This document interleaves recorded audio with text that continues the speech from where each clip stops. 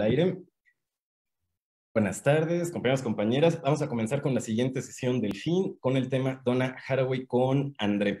De mi parte, un par de comentarios sobre esta eh, autora antes de comenzar. Pues se trata de una autora feminista eh, destacable para estudios de género y estudios queer. Definitivamente también muy relevante para la filosofía de la biología en términos de una crítica de epistemologías occidentales y de los sesgos de raza, género, clase que pueden tener estas epistemologías digamos que de la mano de autores como Marx, Foucault, feministas como Cristeva, eh, Haraway construye una crítica sobre los sesgos que los conceptos o las propias instituciones científicas pueden tener de cara a temas eh, de género, temas eh, de constitución económica y, por supuesto, temas de índole racial.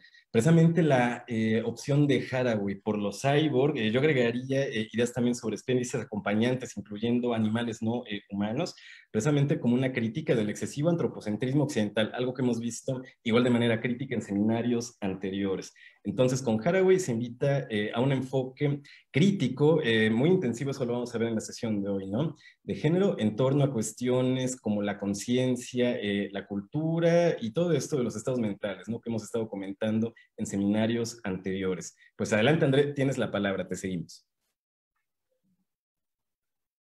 Oli, este, ¿es posible escucharme? Ahí te escuchamos, te escuchamos bien, André. Bueno, perfecto. Este, pues, como ya lo mencionó el profesor, este, Huesca, en estos momentos voy a, a, ¿cómo se llama?, exponer sobre Donna Haraway, más precisamente en específico sobre eh, su texto más famoso, que es el Manifiesto Cyborg, ah, publicado, me parece, si no me equivoco, en 1985-1984, y este, que consta pues de 42 pequeñas páginas, pero que es bastante interesante precisamente para el análisis de lo que aquí en el programa estamos queriendo ver, precisamente como de eh, la semiótica, el cuerpo, la mente, este, el cerebro eh, la información y precisamente eh, tiene un enfoque precisamente bastante, como lo habíamos discutido con el profesor antes, eh, marxista, este, y muy, pero muy, pero muy, pero muy, pero muy, como diría, este, un poco, mm, ah, no sabría cómo decirlo, cuando controversial, un poco controversial en cuanto a su forma de tratar el cuerpo y este, lo que conoceríamos precisamente como dominio y poder. Entonces les voy a compartir pantalla a una pequeña presentación que hice para que podamos ir eh, más fácil y de una manera un poquito más, eh, también, como se llama, comprensible para todos ustedes. Ahí me avisan ustedes si pueden ver eh, la pantalla tanto como yo la veo. Sí, ahí se ve ya la presentación. Perfecto. Bueno, Mm, primero que nada, aquí tenemos la primera, es el manifiesto Cyborg por Donna Haraway. Este, a mí no me gusta ser muy académico, no me gusta explicar las cosas como de manera tan, tan, tan, tan, tan, tan, tan alargada, así que intentaré ser lo más breve en los conceptos y en la explicación posible y eh, si tienen alguna duda, pues no, no teman preguntármela. Podremos hacer el ridículo juntos o podremos aplicar precisamente aplacar varias dudas juntos. Primero que nada, voy a darle un poco de contexto precisamente sobre quién es Donna Haraway. Pongo cyborg y no diosa en referencia a las palabras finales de su texto del manifiesto cyborg. Esta fue nació en 1994, es una autora estadounidense y se graduó en Zoología y Filosofía el año de 1966 en el Colegio de Colorado. Escribió su tesis sobre las funciones de la metáfora en la configuración de la investigación en biología del desarrollo en el siglo XX. Desde aquí ya se puede ver precisamente cuál era su interés en la biología y en el lenguaje. Este estudio sobre la metáfora es muy interesante precisamente y les urgiría a que en algún punto lean también algunos otros de sus tratados y artículos sobre la metáfora y sobre la semiótica y la forma en la que entendemos mucho el lenguaje. Yo la conocí allí precisamente gracias a la crítica literaria de mi carrera este, Haraway ha sido descrita como una feminista, más laxamente una neomarxista y una posmodernista, precisamente. Es increíblemente, al menos a mí me gusta mucho, en mi opinión es precisamente increíblemente desconocida y deberíamos poner un foco mucho más grande a sus teorías.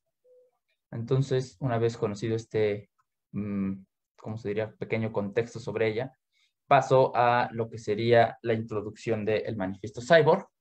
Este, uno de los principales conceptos o principales formas en los que está escrito y a los que Haraway regresa durante básicamente todo el tiempo en su manifiesto es la sátira y la ironía.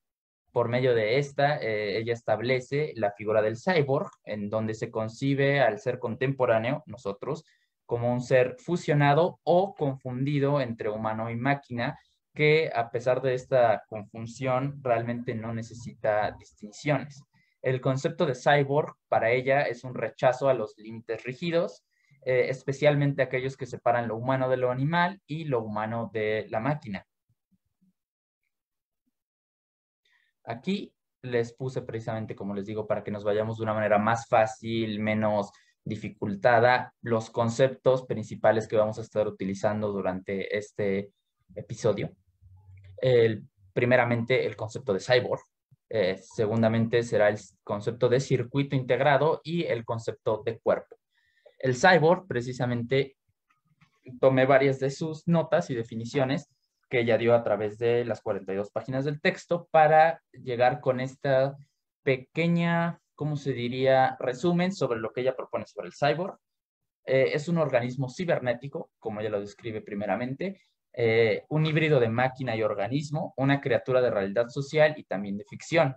¿De qué habla cuando, de qué habla cuando quiere decir realidad social y también de qué habla cuando quiere decir ficción? Lo veremos más adelante ella nos dice que el cyborg desafía lo que cuenta como experiencia.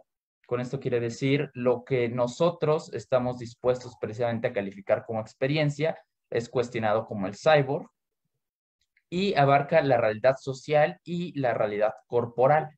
El cyborg también es postgenérico, precisamente esto lo veremos más adelante, y con esto se refiere a que no reconocería el jardín del Edén, el cyborg no viene del barro y por lo tanto no puede soñar con volver al polvo. Después vamos con el concepto de circuito integrado, que Haraway manifiesta a través de sus páginas, que está formado principalmente por tres unidades. La primera sería el universo, que entenderemos como los objetos que pueden ser conocidos científicamente a través de nosotros.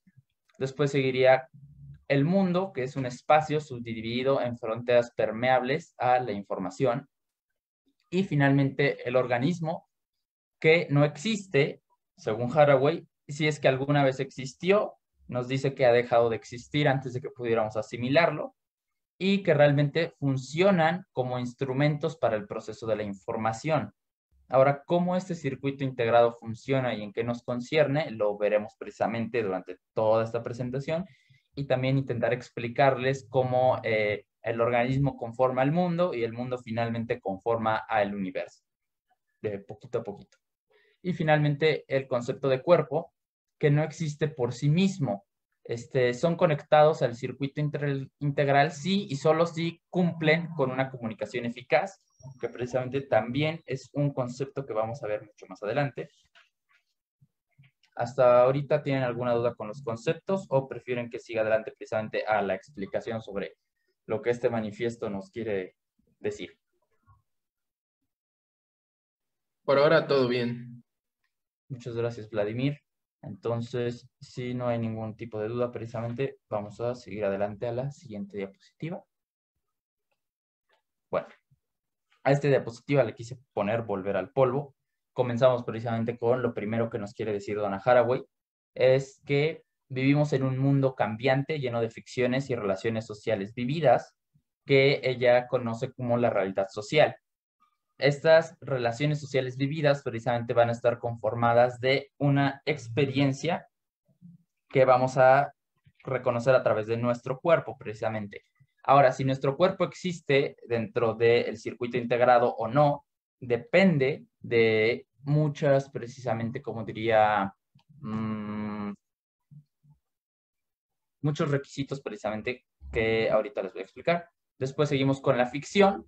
Ella nos dice que nuestra experiencia es una ficción y que la realidad es oblicua a cambios históricos. Y finalmente vamos con el cambio, que nos dice ella que este cambio se logra con la liberación y esta liberación se basa en la construcción de la conciencia.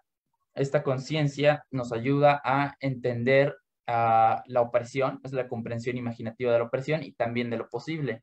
Es decir, una vez podemos imaginar qué es la opresión, podemos imaginar que se sentirá estar sin ella y cuáles precisamente van a ser los cambios necesarios para la liberación de esta opresión. Voy a continuar con la siguiente diapositiva. Aquí vamos a explicarles hoy un poquito. Le pongo, hoy soñé con el circuito. Chan, chan, chan, chan, chan. Vamos con, traté de hacer este mapa lo más entendible, posible, precisamente. Como les ponemos, eh, nuestro universo este, realmente solo está formado de objetos que pueden conocerse científicamente este, y puede estar formulado esto de dos formas, ya sea por la comunicación o por el análisis de este universo precisamente. Así que eh, lo pondremos precisamente como información real o no, lo cual vemos aquí en la diapositiva. En medio de esta información, ya sea real o no, entra el cyborg y lo corta como media luna así lo quise poner precisamente para mm, que lo entendiéramos mejor. Junto al cyborg está la realidad social y la realidad corporal, que son este, necesarias para entender nuestra, toda esta información. Y este, a través de ellas se logra el cambio histórico que está en el foco rojo, precisamente. Con hoy soñé con el circuito, nos referimos a la entrada precisamente de entender que es mm, el cyborg y que son los conceptos claves que ponemos. Haraway nos pone, y cito, que la producción moderna, ya sea no solo la producción, véase, de productos o eh, ropa, maquillaje, no solo eso, sino la producción moderna de imaginaciones, ideas y experiencias parece un sueño laboral de colonización que, de cyborgs, precisamente, que presta avisos idílicos a la pesadilla del el Taylorismo. Ella argumenta en favor del cyborg como una ficción que abarca tanto nuestra realidad social y nuestra realidad corporal. Esta realidad social y corporal se unen en el cyborg, precisamente como les había dicho, corta en medio de ellas como una, un instrumento, ¿cómo se llamaría? Un recurso imaginativo sugerente de, acoplamientos que ella considera muy fructíferos, precisamente. Está la realidad social y la realidad corporal, y en medio de ellas corta el cyborg como un recurso imaginativo para que podamos entender mejor lo que sería el cambio histórico. Ella considera que la biopolítica de Foucault fue, no fue más que una premonición de lo que sería la política cyborg en un día.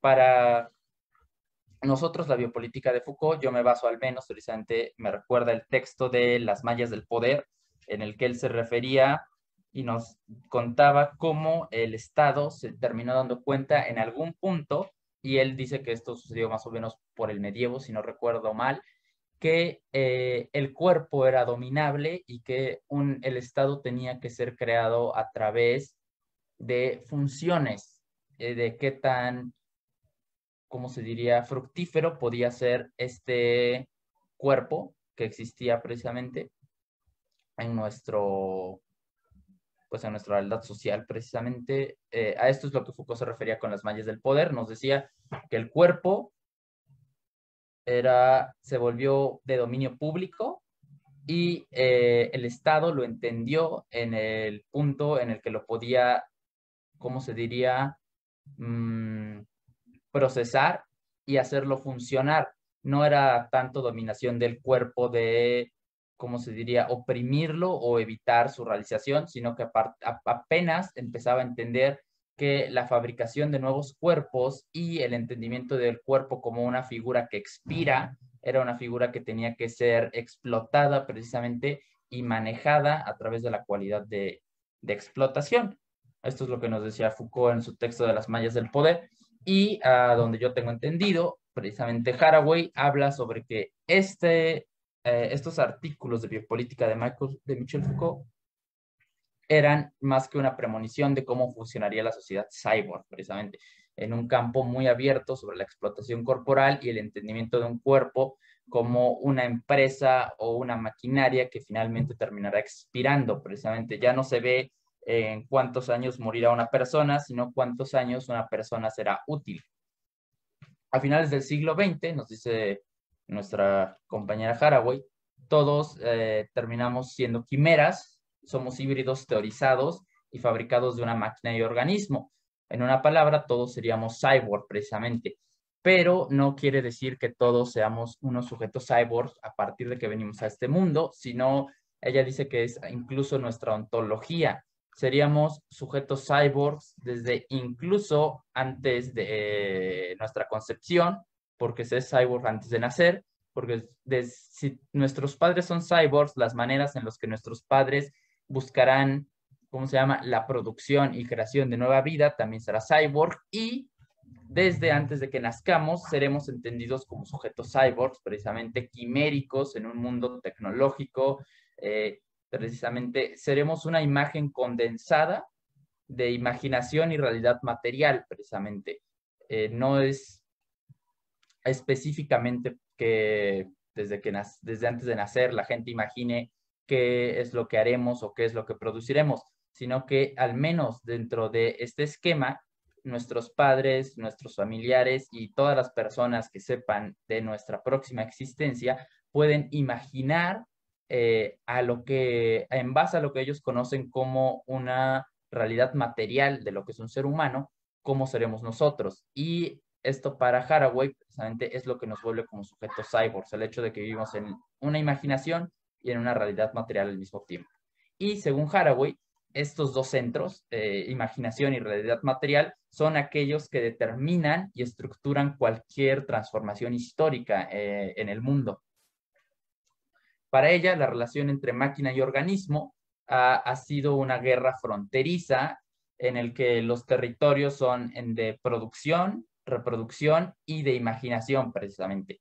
Tenemos dos cosas, producción y reproducción, que son muy reales, y tenemos después la imaginación, que es este centro de la realidad social, y después tenemos la producción y reproducción, que es la realidad corporal, eh, como decía precisamente, que cortan a ambos y hacen posible el cambio histórico. Hasta ahorita, ¿algún tipo de comentario o duda? En mi parte en el chat puse algunas observaciones, André, igual como para retomarlas después. De mi parte, nada más una eh, observación muy marginal. Me parece, a lo mejor estoy pensando mucho en Hegel, ¿no? Pero si hablamos de conciencia en Haraway, se sobreentiende que esta conciencia está situada histórica, social y económicamente, no está, digamos, un estado mental eh, a nivel, si se quiere así, eh, individual, ahí en el aire, sino que está dentro de ciertas condiciones de explotación económica, de marginación eh, erótica y racial. Me parece que todo esto está implícito en Haraway, ¿no? El carácter, de nuevo, situado, situado histórico y socialmente de los procesos mentales humanos. Nada más eso. Pues, pues sí, sí, sí, es, es precisamente con, ah, tiene mucho sentido lo que dice el profesor, pues sí, precisamente más que nada el consciente para Haraway o la conciencia deviene de eh, la conjunción entre la realidad social y la realidad corporal, lo que entendemos y este, contra lo que nos enfrentamos, ¿no? Es parecido como, uh, no sé si han visto alguna vez, eh, o al menos a mí me gusta pensarlo precisamente, el cómo surge la conciencia de lo que en realidad existe. Es como el camión que intenta pasar por un puente demasiado bajo para él. Este, la información, precisamente sea real o no, es percibida entonces, el conductor percibe cierta información.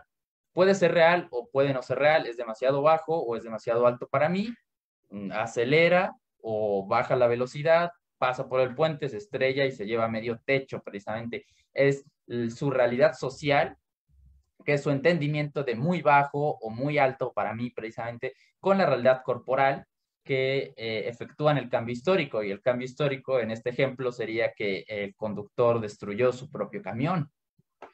Precisamente, todo tiene mucho que ver precisamente con las percepciones y con lo que está construido en base, precisamente, no sé si preexistente, pero a este punto es al que vamos precisamente sobre el cyborg siendo una criatura posgenérica. Entonces, avanzo me quedo aquí en hoy sueño con el circuito. El cyborg este, es una criatura en un mundo postgenérico. como lo quería decir precisamente con el profesor, posgenérico no se refiere a posgénero, aunque Donna Haraway también trata esto sobre destruir el género y ver más hacia el sexo precisamente, e incluso en otros puntos eh, descubrir la animalidad del sexo o la maquinaria del sexo. Pero con posgenérico no nos referimos a estas identidades de género, a estas percepciones de eh, nuestro cuerpo, estas percepciones de nuestras enfermedades o nuestras eh, deficiencias. Con posgenérico ella se refiere a que el cyborg está después de lo que se conocería como, ah, ahora sí, la creación. Este, el cyborg precisamente no tiene relaciones con una simbiosis ni con el trabajo ah, alienado o no alineado, también precisamente, no es seducido por la totalidad orgánica de lo que nosotros podemos concebir como deseo o como necesidad precisamente, ya que ella, el cyborg se apropia de todos los poderes de las partes a, través de una unidad mayor, precisamente. Aunque, como Haraway también lo describirá, eh, esta unidad mayor para el cyborg también termina siendo irreconocible. Eh, ella nos habla precisamente sobre que el cyborg, al ser postgenérico, este, nos pone el ejemplo de Frankenstein, como recordarán, es creado, eh, es muy feo, es muy miserable, por algo el nombre de la novela también iba a ser el moderno Prometeo, ¿no? Desechado por su padre, este, trae a los humanos este gran conocimiento, pero es, es destruido precisamente y desterrado por la fealdad de lo que nos está enseñando, ¿no? El Frankenstein. Entonces, en la novela y en una de las películas, si no recuerdo porque hay incontables películas, Frankenstein iba con su creador, el doctor, y le decía que si no quería que asesinara a toda su familia, eh, terminara su miseria, ¿no? Y que esta miseria se terminaría creando a otro igual a él, pero obviamente en forma femenina, para que pudieran vivir juntos. Entonces, a pesar de que es una exigencia, Haraway lo considera más bien como una súplica de salvación, precisamente es lo que Haraway diría como el arreglo del jardín del Edén. Algo no salió bien, el jardín del Edén ideal no se plasmó en Frankenstein precisamente, sino que es una realidad completamente mísera y destruida. Y eh, el monstruo de Frankenstein desea que el doctor arregle el jardín del Edén desastroso, precisamente creando a un compañero. Pero Haraway especifica que por ser postgenérico, el cyborg no sueña con una comunidad que siga el modelo de la familia orgánica, ni siquiera eh, de la forma edípica, precisamente. Ni siquiera sueña en encontrar otra familia, no sueña en, eh, ¿cómo se llama?, cumplir su destino biológico. Eh, no reconocería el jardín del Edén, nos dice Donna Haraway, que si el cyborg existiera y el jardín del Edén existiera y pusiéramos al cyborg dentro de él, el, el cyborg no lo reconocería no significaría para él o felicidad o nostalgia o tristeza. Tampoco podría reconocer si lo pusiéramos en el jardín del Edén destruido, fallado del monstruo del doctor Frankenstein, porque es posgenérico y no sueña precisamente con una familia tradicional, este, no está apegado precisamente a las vertientes de realidad sociales o corporales de la misma manera que nosotros, como lo, les he explicado, rompe con él en la forma de una media luna con la información que la adquiere, ya sea esta información real o no. Entonces, precisamente, eh, el cyborg no estaría hecho de barro y no puede soñar con volver a convertirse en polvo, no puede soñar con su final propio. Ella quiere ver precisamente al cyborg como un ser que es capaz de subvertir el apocalipsis de lo que nosotros vemos como el reconocimiento biológico precisamente de nuestros cuerpos y de los cuerpos de los otros, ya sea como amigos o como enemigos.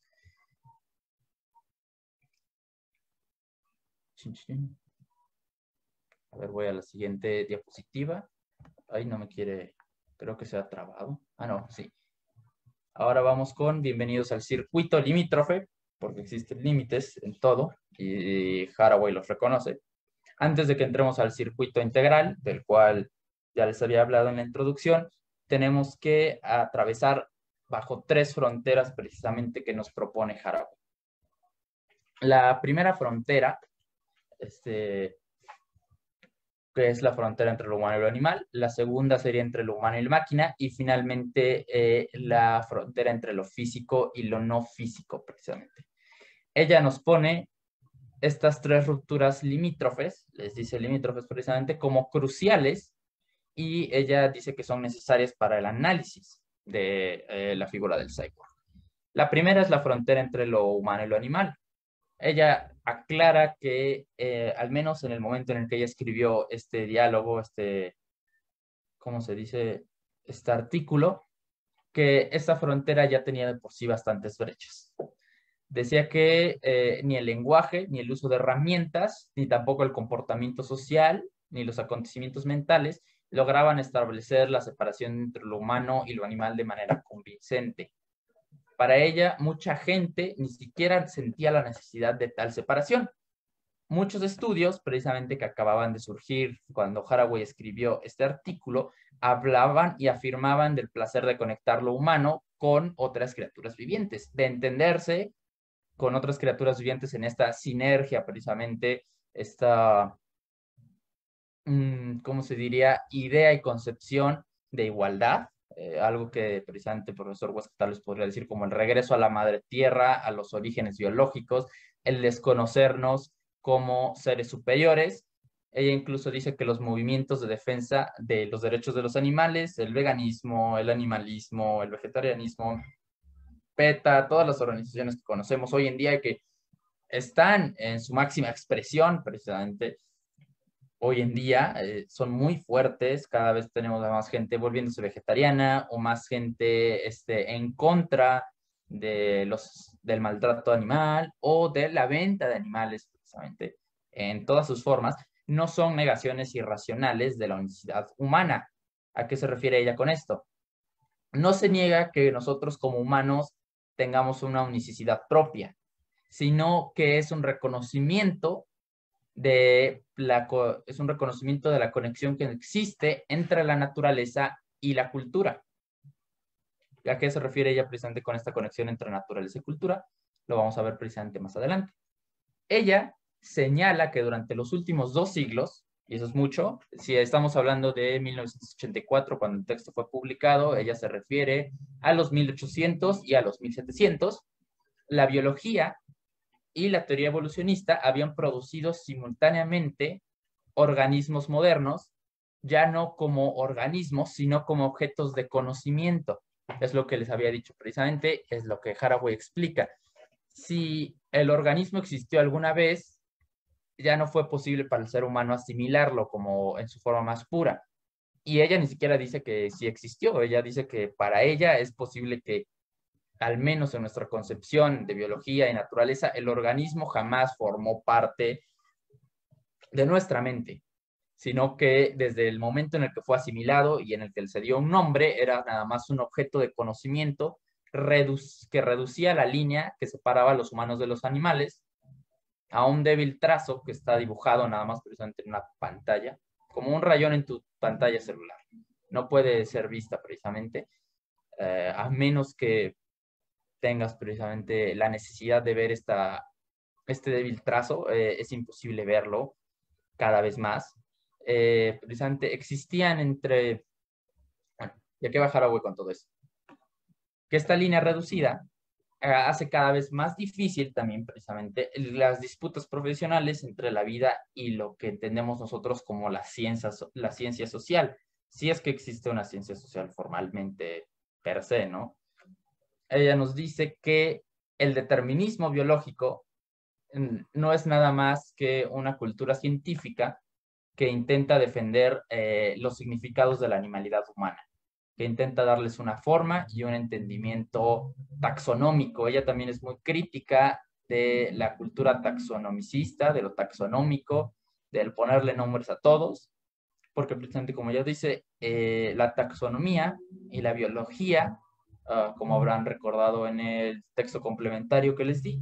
Muy interesante, muy interesante. La empresa biológica, si no recuerdo mal el nombre, nos decía que la biología al final de todos servía bastante al capitalismo en el punto de que entendía a los organismos como métodos explicativos de lo que pueden producir y que la taxonomía muchas veces es este, esta necesidad impulsiva de seguir buscando significados y diferencias entre la forma de producción, ya sea la forma de que si ovíparos o vivíparos es producción, ¿no? Uno pone huevos, el otro este, nace en una placenta en el cuerpo de la madre.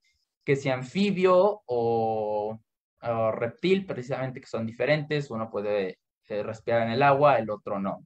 O ah, precisamente está mamífero, reptil, ah, nocturno o diurno, estas también son eh, categorías taxonómicas, este, ya sean de funcionamiento o de estilo de vida, que finalmente, según Haraway, solamente obedecen eh, a la producción, porque en el día es cuando un animal produce, en la noche es cuando otro animal produce, realmente.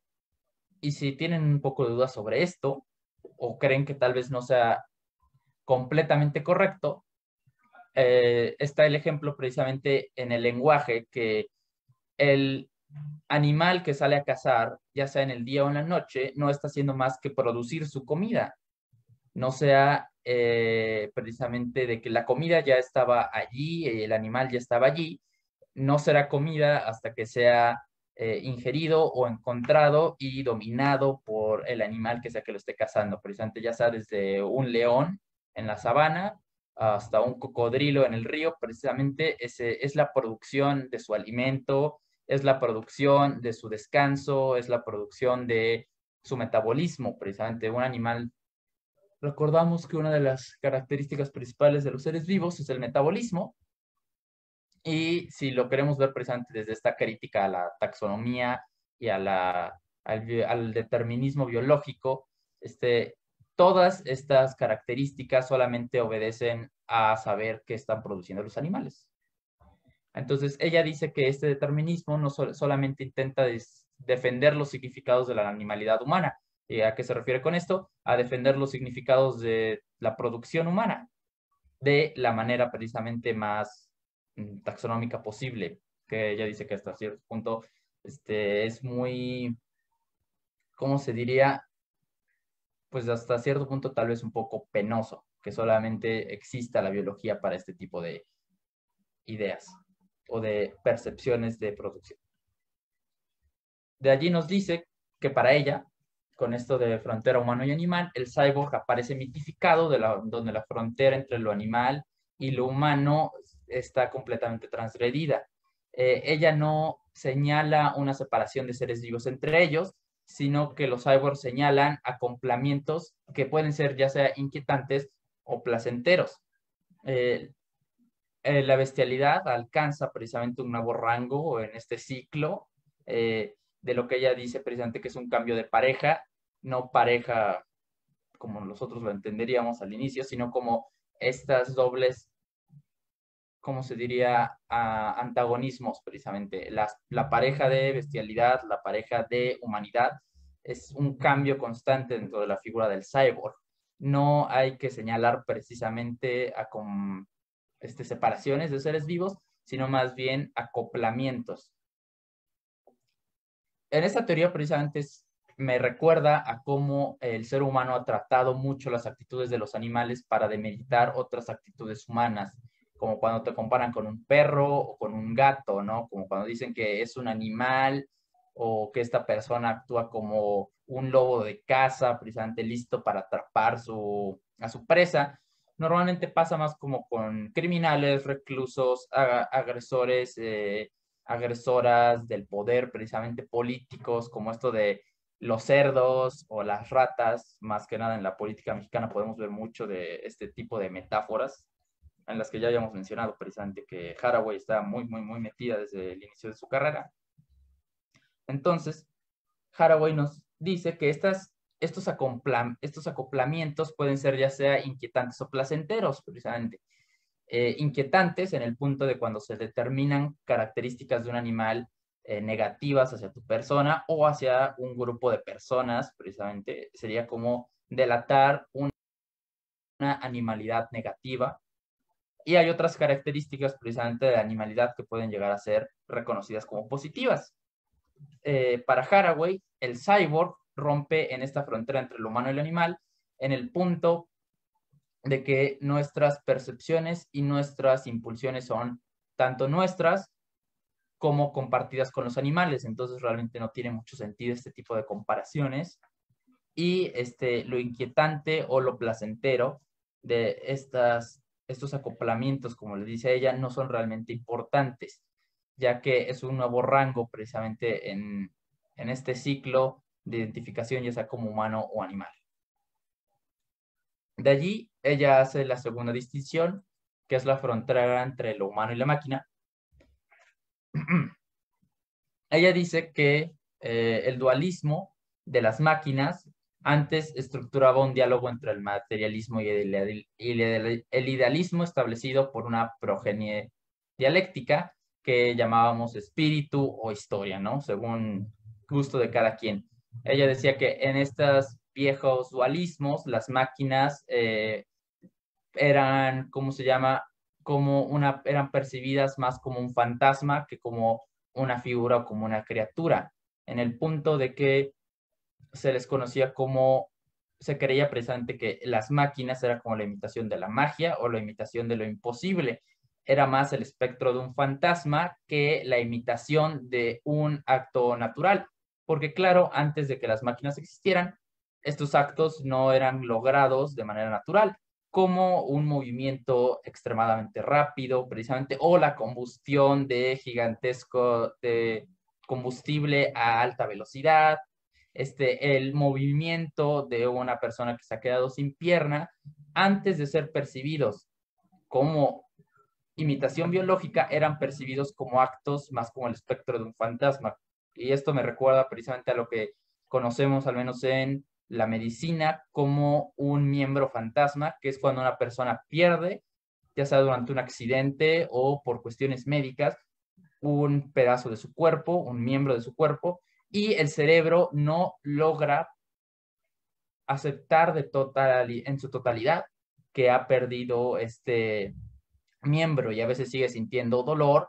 espasmos, eh, cosquillas e incluso placer en el miembro que ha perdido, hace una pierna, un, brazo, precisamente, ah, incluso a veces en casos trágicos ha, habido gente que ha perdido eh, genitalia y todavía puede llegar a sentir este tipo de, ¿cómo se llama? El cerebro todavía manda de vez en cuando por error eh, funciones y eh, sensaciones hacia esa parte del cuerpo que ya no existe. Eso es todo otro debate precisamente en el cual Donna Haraway no está, no, no le interesa meterse, pero ella compara precisamente eh, el inicio de la maquinaria con el espectro fantasma precisamente y el espectro de lo que sería como la imitación de lo imposible. Hoy en día, precisamente, eh, no, esa dualidad ya no funciona, porque sabemos que las máquinas pueden lograr cosas que físicamente, biológicamente también podríamos haber logrado nosotros, solamente que han pasado 200, 300, 400 años. Entonces es cuando se empieza a ver a una máquina como la imitación del sueño humano, nos pone ella. No solamente, antes no podían lograr el sueño humano, solamente imitarlo, no eran precisamente autores de sí mismos, sino eh, una caricatura precisamente representada por un ser humano que ya estaba preexistente a ella, la máquina, ¿no? Ahora, este, nos, nos pone Haraway, uno ya no está tan seguro de que las máquinas funcionen así. Eh, al final de este siglo, eh, nos dice Haraway, este, se han convertido en criaturas, porque ya las cataloga como criaturas, ambiguas, entre lo natural y lo artificial, incluso entre el cuerpo y la mente, entre el desarrollo personal y lo que está planeado precisamente en ah, el organismo y la máquina. Ella nos dice que las máquinas están inquietantemente vivas y nosotros estamos aterradoramente inertes en esta nueva, ¿cómo se llama?, frontera de lo humano y la máquina. Ella nos dice que la determinación tecnológica este solo es un espacio ideológico que está abierto para replantearnos a las máquinas y a los organismos, como les había dicho, de dos formas posibles, solamente como textos codificados y este, por aquí tenía la nota, o a través de la comunicación, precisamente. Aquí viene una crítica bastante fuerte, mordaz, a la, al posmodernismo, precisamente, ya que el posmodernismo, según ella, este, ah, ¿cómo se llama? Eh, desprecia muchas veces las relaciones vivas de dominación que se esconden en el juego de, no de poder y precisamente dice que las teorías postmodernistas eh, subvierten muchas veces las miradas de las totalidades orgánicas, ¿no? Este, nos dicen que a veces pasa que el posmodernismo y precisamente la forma en la que nosotros entendemos a la maquinaria, ya sea humana o tecnológica, este, es básicamente como si leyéramos un texto es una textualización del conocimiento. Eh, tiene que tener reglas, tiene que tener citas, tiene que tener eh, límites de página. Algo así es lo que ella le critica mucho al postmodernismo, ¿no? Que básicamente se vuelve como el entendimiento, vuelve el conocimiento a leer un texto interminable con muchas, ¿cómo se llama? Con muchos con muchas notas de página, ¿no? Como esas páginas que habíamos vemos en las tesis, que son tres párrafos y después del resto de la página, tres cuartos de página, notas de página. Algo así es lo que se critica. Ella pone este, que, eh, eh, perdón, la autorización trascendente precisamente de una interpretación sobre el en el posmodernismo, o al menos en donde nosotros vivimos, se pierde y con ello perdemos una base ontológica para estudiar epistológicamente eh, la realidad precisamente de lo humano y la máquina. Eh, ya lo que quiere decir es que el cyborg rompe completamente con este textismo, si lo quieren poner así, esta forma de interpretar el funcionamiento de las máquinas en notas y notas y notas de pies de página, y por lo tanto también pone en riesgo el entendimiento de la epistemología occidental, porque a final de cuentas, gran parte del entendimiento y gran parte de la maquinaria surge de movimientos occidentales, de autores occidentales, de maquinistas occidentales. Irónicamente, muchas de las máquinas se inventaron en tierras extranjeras por occidentales durante conquistas y colonizaciones, precisamente, pero ella dice precisamente que esta epistemología occidental, esta forma de entender lo humano y la máquina, eh, desaparece eventualmente cuando las máquinas se vuelven mucho más vivas que nuestro cuerpo más inerte. Y finalmente iríamos con, bueno, no finalmente, pero para terminar con el circuito limítrofe, iríamos con la frontera entre lo que es físico y lo no físico. ¿Hasta ahorita tienen una pequeña duda o algún tipo de comentario?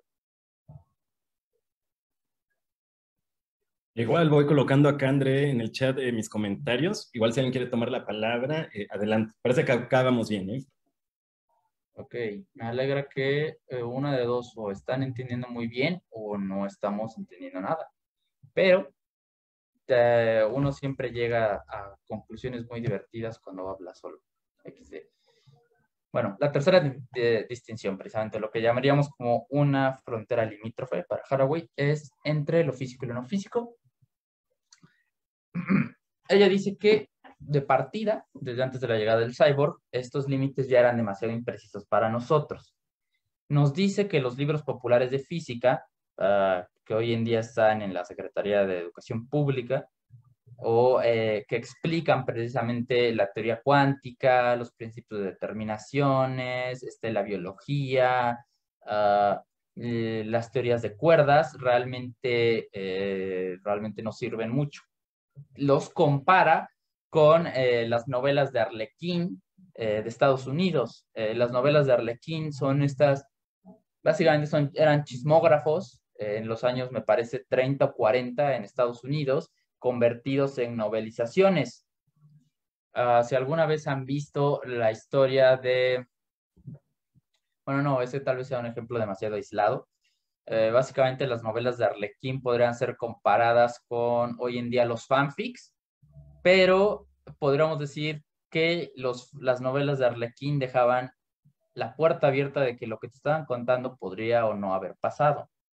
Eh, de algo así se trataba. Era, eh, si lo voy a comparar, presente serían como los chismógrafos o eh, la novela de Estados Unidos.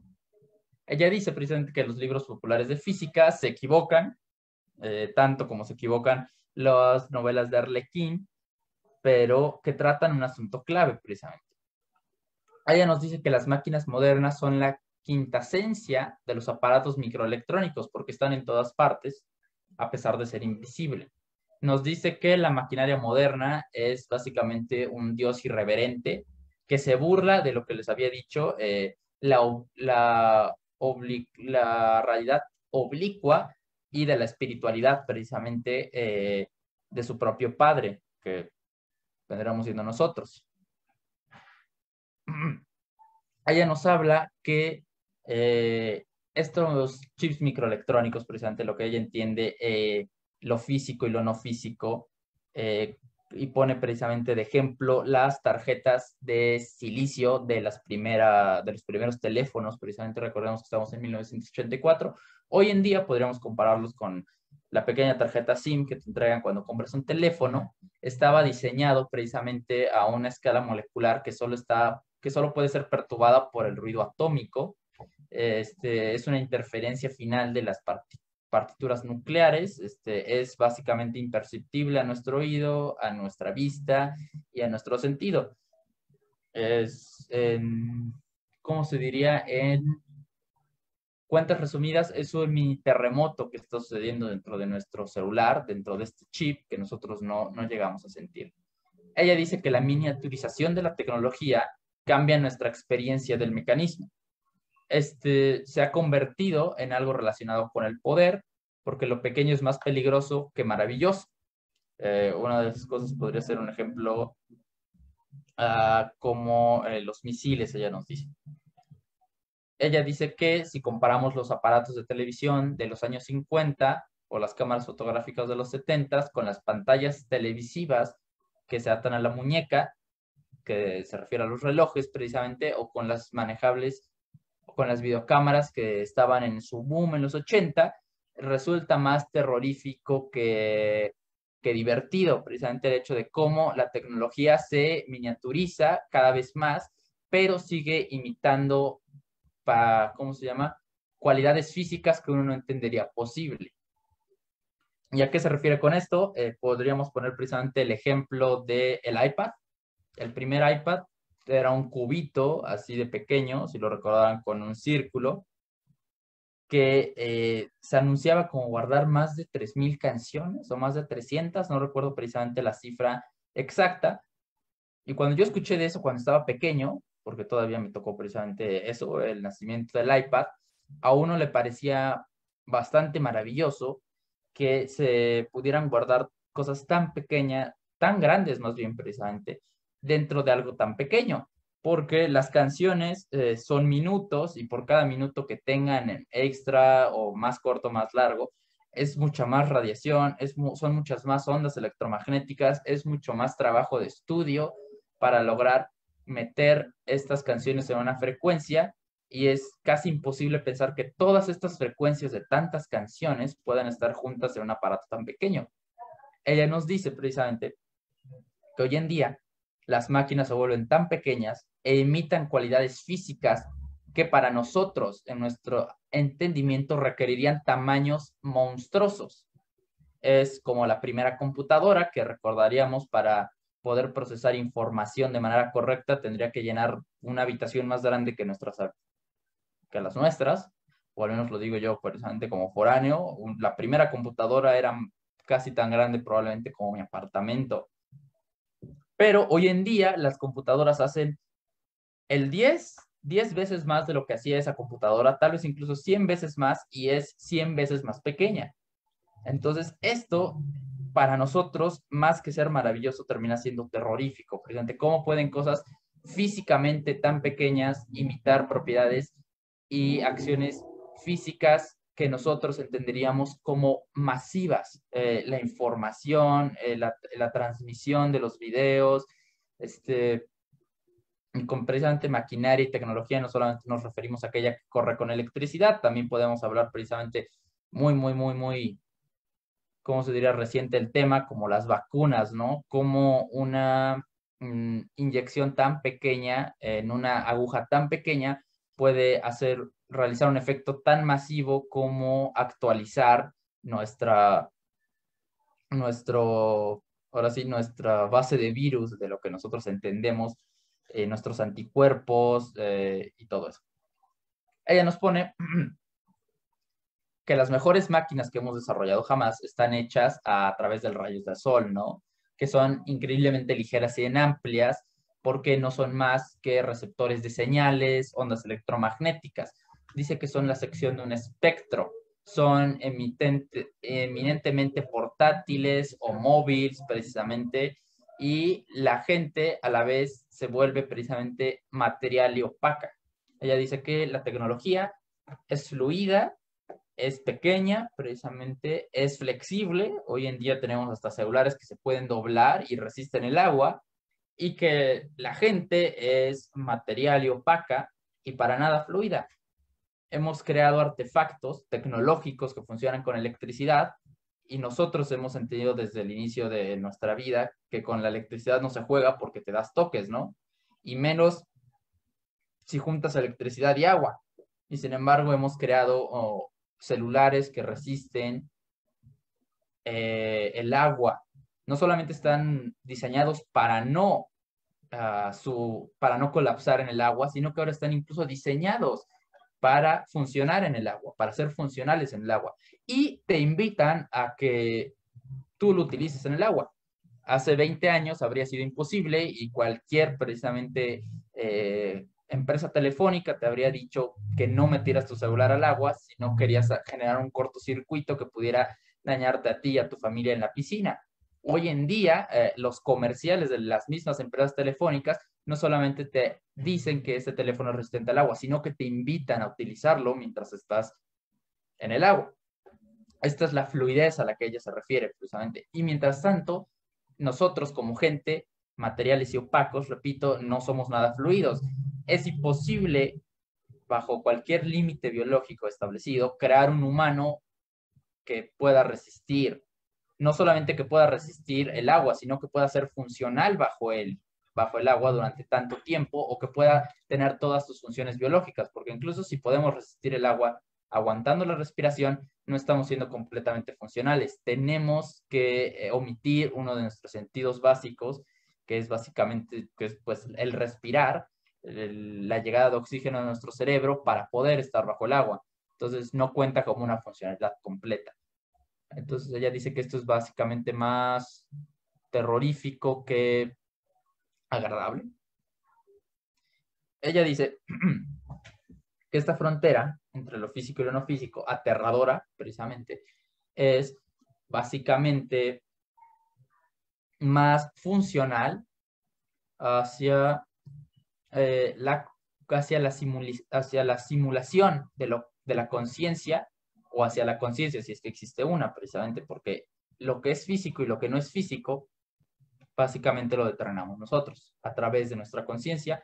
Y ella dice que estas nuevas tecnologías están relacionadas con la simulación de lo que nosotros conocemos y, como se diría, asimilamos como información llegados al final precisamente de estas tres fronteras, ella nos dice que su cyborg trata de fronteras transgredidas, de fusiones poderosas y de posibilidades muy peligrosas. Este,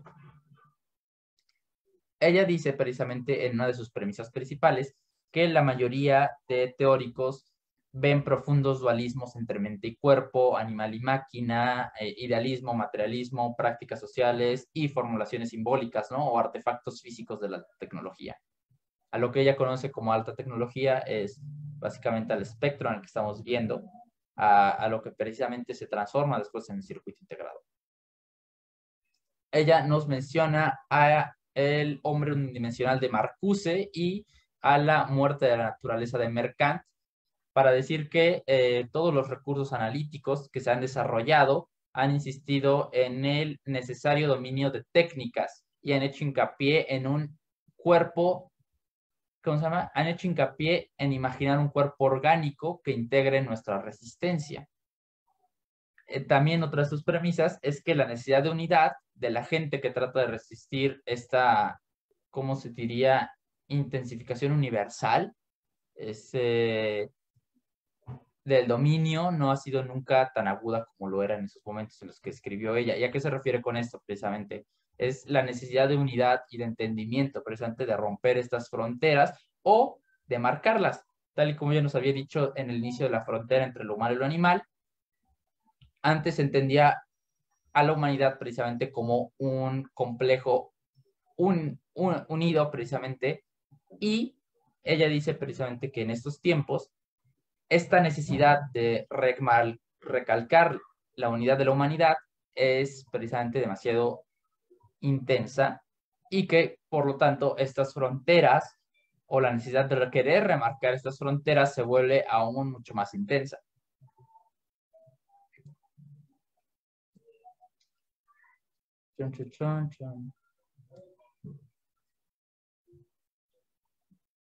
Ella también nos pone a ver. Por ahora estamos todavía, eh, ¿cómo se diría? Entendiéndonos mutuamente. Asume que todo bien, aunque de hecho eh, estas últimas ideas suenan bastante eh, apocalípticas, es lo que yo puse acá en el chat, como que va ganando la instrumentalización del humano, de la naturaleza, un poco como está en hipótesis, ¿no? de Haraway, por un lado, pero por otro, eh, siempre está como que abierto, ¿no? Que la figura justo del cyborg permita, eh, digamos, un cambio ideológico y un cambio social. Es decir, Haraway no es eh, pesimista cultural. La idea es elaborar algún tipo, lo, pongo así, ¿no? Como filosofía de la praxis a partir justo de la idea del cyborg. Este, sí, precisamente se, se, trata, de hecho ella nos dice en uno de sus textos, bueno, aquí en el texto, que desde cierta perspectiva eh, el mundo de cyborgs es básicamente la última imposición de un sistema que controla el planeta y lo compara con eh, la famosa película de Star Wars, lo pone presente, sería un apocalipsis de la guerra de las galaxias, emprendida eh, en nombre de defensas precisamente teóricas de lo que entendemos nosotros.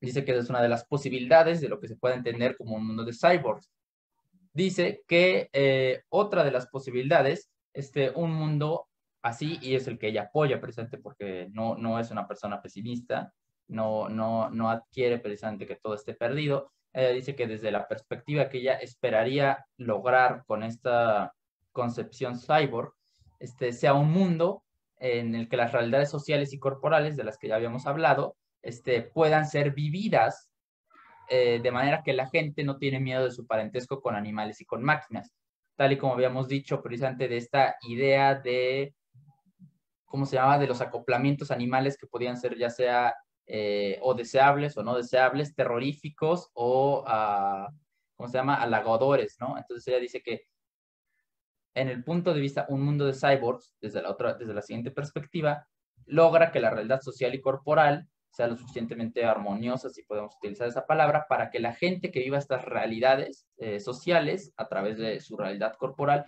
no tenga miedo de los parentescos entre la animalidad y los parentescos entre la máquina. Tal y como, porque también ella nos había mencionado precisamente esto de que la máquina se vuelve terrorífica hasta cierto punto. Eh, este, precisamente la, se vuelve hasta cierto punto eh, la máquina aterradora. Entonces, para ella, desde la perspectiva deseada, una vez la realidad social y corporal pueden ser asimiladas por el cyborg, no hay manera por la que temer el hecho de que una creación nuestra se parezca tanto a nosotros. Eh, es muy apocalíptico hasta cierto punto, pero no es tan, tan pesimista como otras partes, otras, otras personas. De allí se Vamos a movernos a la siguiente diapositiva, que realmente no es mucho De hecho, es un punto bastante corto, precisamente. A ver, André, con, eh, perdón, una pregunta de aquí del chat. Dice, ah, es decir, el reconocimiento mismo de estas fronteras es una vía a la emancipación y utilización de estas para un fin no pesimista. A ver, qué, buena pregunta, Vladimir. El reconocimiento de estos mismos de estas fronteras, voy a volver a la diapositiva anterior porque entonces vamos a... Ay, F. Aquí está. A ver, deja, deje leo el comentario, profesor. Oh, nos fuimos demasiado para abajo.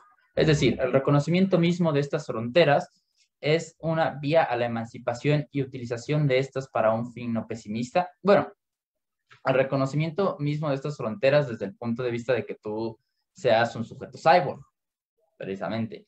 Eh, eh, aquellos que estamos condenados a la biología o al determinismo taxonómico, como diría Haraway, este, no es como punto completamente posible eh, la emancipación y, y utilización de, estas fronteras para un fin no pesimista, ¿no? Como había dicho, precisamente todos somos seres quiméricos, o sea, todos ya estamos dentro del el circuito integrado bajo los requisitos que les explicaré después, precisamente. Ahora, el reconocimiento de la existencia de las fronteras es también el reconocimiento del circuito integrado que Haraway nos quiere, como se diría, dar a entender. Entonces, yo respondería un arduo sí. El reconocimiento de las fronteras o de los circuitos limítrofes, como ella le dice precisamente, pueden ayudar a que nuestra realidad social y nuestra realidad corporal no se avergüencen de la existencia de acoplamientos, como ya le dice a las semejanzas, entre lo animal y entre lo mecánico que tenemos nosotros como seres humanos. Ahora, yo no sé si hablaría precisamente de eh, un fin no pesimista, porque eh, el cyborg precisamente no puede soñar con finales hasta ese punto. No es una criatura que conciba uno, que conciba el fin en sí, pero eh, sí es una criatura cuyo ah, fin sería, no, no cuyo fin, precisamente, cuya perspectiva de emancipación es posible. Entonces, sí, yo diría que que sí. No sé si contesté bien la duda.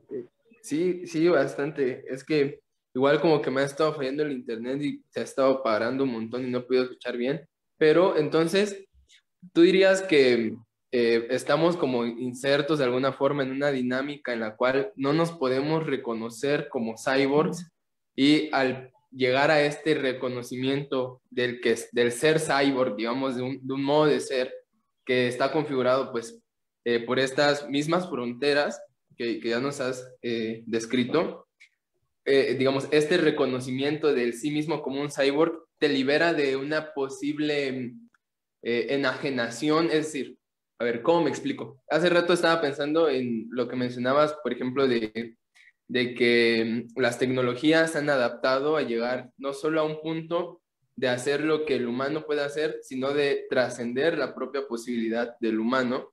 Entonces, eh, e, en parte también hablemos de la enajenación, de tener un, pues, un celular todo el tiempo en la mano, de, de igual esto que mm, yo no he leído a Foucault, pero para ello he escuchado que los Foucaultianos mencionan que uno piensa que usa al dispositivo, pues en general, no solo hablemos de celulares o electrónicos, pero en realidad es el dispositivo el que te usa a ti.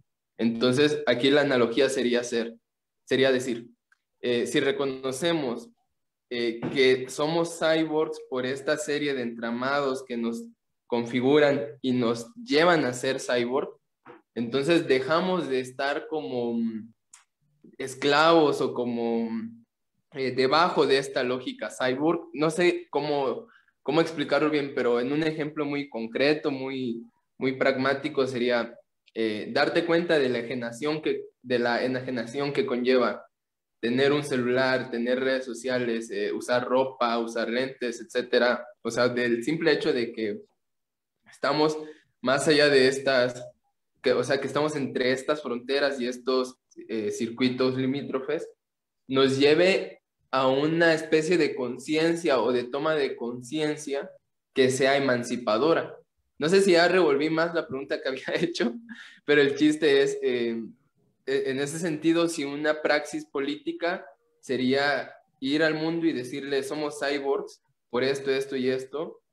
Esto es lo que nos suprime, pero esto es lo que nos libera del propio ser cyborg. No sé si está planteada en términos adecuados, pero más o menos por ahí va mi duda. Bueno, este, yo, yo entiendo la duda, está, está padre, está padre la pregunta, uh, Pano Vladimir. Ahora, una mini pequeña corrección al final, porque creo que todo lo demás, lo que dijiste, estuvo chido. Tal vez la última parte que tal vez me paniquearía, que tal vez no se entendió completamente la parte, es que el ser cyborg no es posible ser oprimido. No es, al ser un, el sujeto cyborg no es posible que se lo oprima, como creo que más o menos dijiste al final, ¿no? no mm, pero sí, eh, en términos cortos, el, el, resaltar y el reconocer precisamente que estas fronteras realmente no deberían existir o no sea malo que estén tan desdibujadas, finalmente llega a la emancipación y nos puede prevenir de precisamente tal, así soy demasiado, ¿cómo se diría? Ay, ¿cuál es lo positivo? El, el, ¿Cuál es el contrario de pesimista? Eh, optimista, optimista. Si soy optimista, sí, eh, un fin no trágico, no terrible precisamente, el reconocimiento como sujeto cyborgs comenzaría eh, en el ejemplo del celular, tal y como tú lo has dicho. Normalmente cuando pasamos horas en el celular dentro de la enajenación, el siguiente sentimiento que viene es el de la culpa, ¿no? Siempre sigue, eh, siempre me recuerda este meme de círculo, precisamente este círculo que el inicio es el final, eh, de el emoji pequeño que dices como, pues me deprimo por no hacer nada y no hago nada porque me deprimo y así sigue siendo el círculo. Puede ser parecido, ¿no? Este, utilizas el celular por horas, este, después te encuentras enajenado eh, en el celular por horas y después llega la vergüenza por haber estado tanto el celular y nunca faltan los memes o los comentarios de, del abuelo, del tío de 50, 60 años que dice, no, pues a la naturaleza, disfruta de los árboles, disfruta de, del pasto, abraza un árbol, aunque sea un cactus, ¿no? E, ese, ese tipo de comentarios, ese tipo de ideas precisamente de que es necesario salir a la naturaleza para librarte de este celular, de esta enajenación. Pero eh, la realidad, esa podría ser presente el entendimiento de la realidad social, eso es lo que la realidad social te dice. Sal a la naturaleza para librarte del sujeto cyborg, ¿no? Pero la verdad es, la realidad corporal es que vivimos en un mundo ya bastante cyborg. Sales sin tu celular a la calle y lo primero que hay sobre tu cabeza son postes de luz con cientos y cientos y cientos de cables caminas por la acera y no, no oyes pájaros precisamente por la acera, lo que oyes es un auto pasando y si tienes mala suerte y va lloviendo, te moja, en el, te moja con el agua del charco que estaba en la esquina, ¿no? Entonces, creo que el reconocimiento de que el celular es parte ya de nuestra naturaleza, precisamente de esta realidad corporal, es uno de los primeros pasos a dejar de temerle precisamente a nuestra necesidad a estas tecnologías y al poder, sí, emanciparse. Mucha gente le teme a cuánto necesita el celular, pero realmente no es necesario temerle a cuánto necesitas el celular, mm, eh, porque es parte precisamente de nuestra realidad corporal. Aun si en la realidad social luego se dice como, no, este, la gente que tiene celulares está muy enajenados precisamente, o es la gente, estos niños de 10 años con su iPhone 15, ¿no? Desde ahí ya puede surgir una crítica capitalista, ¿por qué gastarías tanto dinero en un celular, ¿no? También, pues, ¿cómo se llama? Donna Haraway también podrá decirnos eso sobre, de hecho, el siguiente artículo, el siguiente, la siguiente parte es un poco sobre eso. Pero sí, lo que dice el profesor Huesca, me parece que sí fue el profesor en el, chat, sí. Eh, eh, ¿Cómo sería el uso de...? Sí. claro, eh, la pregunta que salió por ahí es si el uso de fuego sería cyber, justo sobre la relación, ¿no? Herramienta, cultura y la idea cyber. Oh, sí, sí, sí, sí, este, muy definitivamente el descubrimiento del fuego no, no catalogaría como cyborg, sería el descubrimiento del uso del fuego lo que catalogaría como eh, la primera creación del sujeto cyborg, ¿no? Eh, igual el, descubrimiento del riego, eh, el descubrimiento de los zapatos. De hecho, precisamente en esto de la duda de Vladimir, precisamente más de nuevo, no, no siempre ser, ¿cómo se llama? siempre necesitado de la tecnología significa que vas a estar mal o estés atrapado. Pongo como ejemplo al profesor y a mí, no, no conozco a alguien más, o bueno, nuestra compañera Mónica Pastrana eh, también necesita utilizar ah, lentes casi todo el tiempo para poder ver. Y no es como que es mucha parte precisamente de estas fronteras entre el humano y la máquina. Te dicen que te desprendas eh, del celular o que te desprendas de la computadora, pero nadie, nadie con decencia común o que no te quiera ofender te va a decir, no, pues despréndete de los lentes, ama tu cuerpo, ama tus ojos que no pueden ver nada a media cuadra, sal a la calle y arriesgate a que te atropellen, nomás para separarte de esa tecnología, porque pues eh, los lentes son una tecnología precisamente. Entonces, sí, Vladimir, la aceptación precisamente tal vez no de que necesitas el celular, sino la aceptación de que el celular es parte de la realidad corporal que nos tocó. Y hasta cierto punto, precisamente, la realidad corporal en la que nosotros vivimos jamás fue libre de, ¿cómo se llama?, de herramientas, precisamente. Eh, el ser humano, al menos desde que lo podemos asimilar históricamente, ha necesitado y ha utilizado una herramienta para, poder subsistir. Realmente no existe, no existe, o al menos yo no veo, y no creo que Donna Haraway tampoco lo vería, no existe vergüenza en tener tu celular siempre contigo, porque es tu herramienta de hoy en día, así como el troglodita de hace dos mil o tres mil años, este, siempre traía su palo para ahuyentar al perro salvaje hasta que lo aprendió a domesticar, no es vergüenza que siempre traigas el celular más como siempre también a veces te dice tu mamá o tu papá, siempre lleva el celular y siempre con sonido, ¿no? Para que puedas escuchar llamadas y todo así. Y bueno, a ver, a mi hermano Alberto también tiene una duda o participación, más que una duda es un comentario. Eh, ¿Sí, Alberto? Sí, efectivamente, más que una duda es un pequeño comentario, mi exposición. Eh, en general, viene aunado a lo que están discutiendo ahorita con lo de la que es la identificación del problema para cambio. Entonces se podría decir que justamente eh, parte del trabajo que se realiza por parte de Haraway es cuando identifica a la labor como parte de, como categoría eh, ontológica del ser humano, pero el ser humano masculino, porque dice hombre, igual que se distingue bastante entre hombre y mujer, pero el texto. Se propone de alguna u otra forma, o podríamos decir que está diametralmente proponiendo que si la labor eh, es o sea caracterizado por ser una categoría ontológica que define al ser humano masculino, la repartición del trabajo o los tipos de trabajo que realizan los hombres tienen una ontología en los valores de capitalistas patriarcales y los tipos de trabajos que realizan las mujeres tienen otra.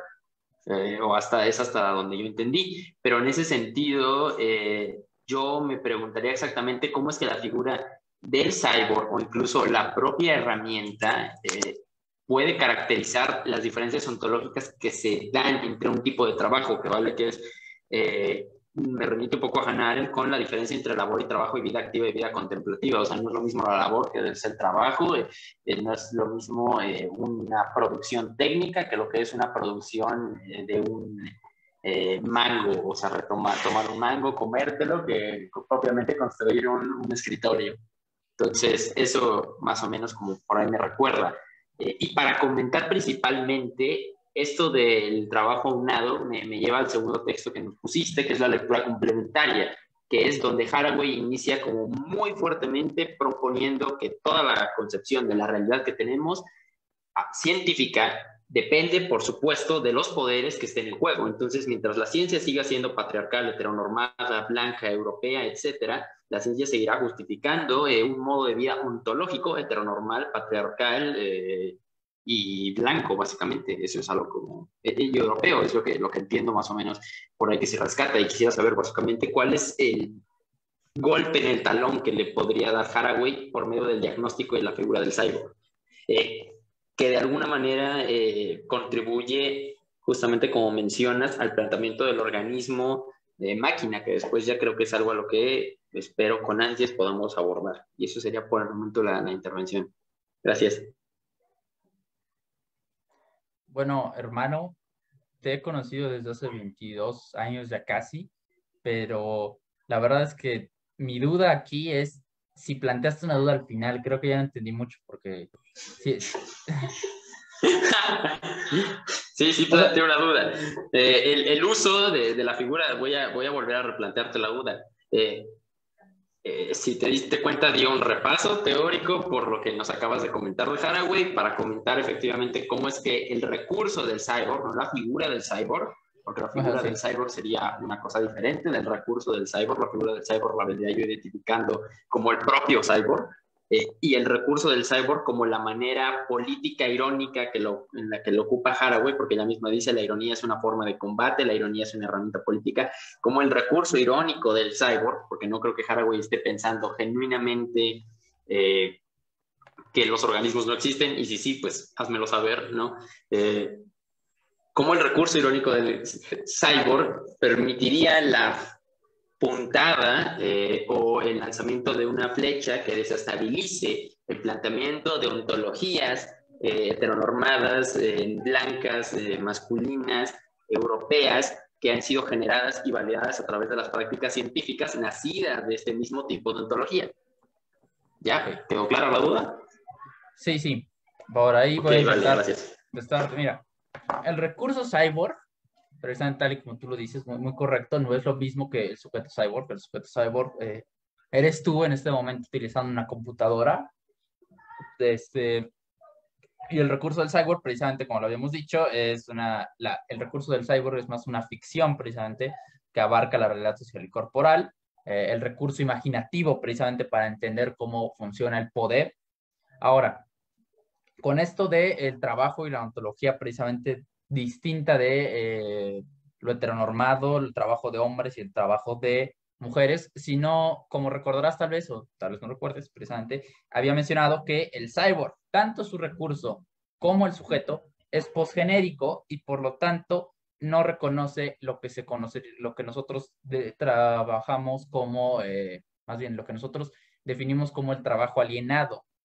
Entonces, había mencionado a la naturaleza de la cultura como dos vertientes que eh, el ser humano a veces ha tendido a pensar como distintos. Nos dice que bajo este recurso precisamente es posible que entendamos que la naturaleza y la cultura se remodelan, por lo tanto la primera, la naturaleza ya no puede ser un recurso para la primera, para la segunda. Perdón. La, la naturaleza y la cultura son remodeladas y la primera, la naturaleza, ya no puede ser un recurso para la segunda, que sería la cultura. Eh, en, dentro de la cultura, tal y como tú lo mencionas, entra el trabajo, este entendimiento de que el ser humano existe trabajando eh, y dentro de este trabajo existen las, las normatividades de, uh, ¿cómo sería?, de raza, género, sexo, y más tú te refieres precisamente a este, eh, como el trabajo de, que se divide entre los trabajos para los hombres y los trabajos para las mujeres al no reconocer el trabajo alienado y al desconocer a la naturaleza como un recurso de, ¿cómo se diría?, de la cultura, se desconoce precisamente entonces este círculo de trabajos para hombres y trabajos para mujeres. ¿De qué manera crítica lo podríamos utilizar? Si quieres que yo arme precisamente la elaboración crítica de cómo esto se utiliza, eh, estaría ya un poco más difícil. Precisamente tendría que escribirte un ensayo, pero ¿Cómo se puede utilizar? Precisamente se utilizaría en esta raíz, precisamente que Haraway hablaba sobre naturaleza y cultura, porque dentro de la naturaleza estamos nosotros, está nuestro cuerpo, tal y como lo había dicho precisamente de este conocimiento de la realidad corporal. La realidad corporal es parte de nuestra naturaleza y nosotros somos parte de la naturaleza. Entonces, cuando se desentiende a la naturaleza como un recurso de la cultura, se desentiende el trabajo alienado y se desentiende el trabajo heteronormativo, precisamente que tú acabas de mencionar, se lucha contra este.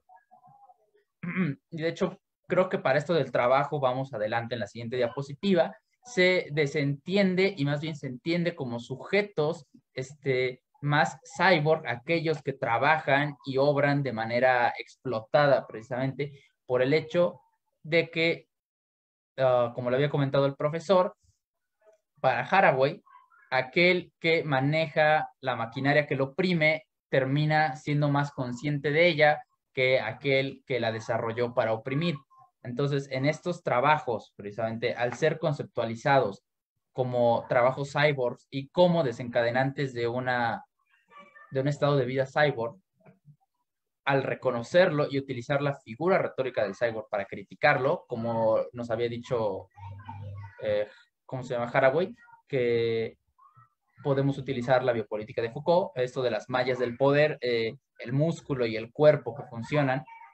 Entonces desentendemos y vemos los enlaces por los cuales existe esta heteronormatividad y esta división de clase de trabajo, perdón, en cuanto a los sexos, ¿no? Los trabajos para mujeres o los trabajos para hombres se desentienden a través de que destruimos a la naturaleza como un recurso de la cultura y cuando los entendemos, precisamente los reentendemos más como partes de una frontera que está en diagonal, como les había mencionado al principio. No sé si esto te ayudó un poco precisamente a entender que lo escriba y yo te lo ponga precisamente en un manifiesto de cómo lo vamos a hacer, eh, estaría muy difícil, pero el cómo la figura funciona o cómo la figura puede criticarlo, esa sería la respuesta. La figura retórica del cyborg critica y puede desarticular este, estos trabajos específicos para hombre o mujer y este, esta explotación a través del desconocimiento de la naturaleza y de nuestra realidad corporal como recurso de la cultura. No, no me quedó claro. es cierto, sí. Ok, vale, sí, muchísimas gracias. Entonces ya, ya, ya hay más eh, información ahí por ese momento.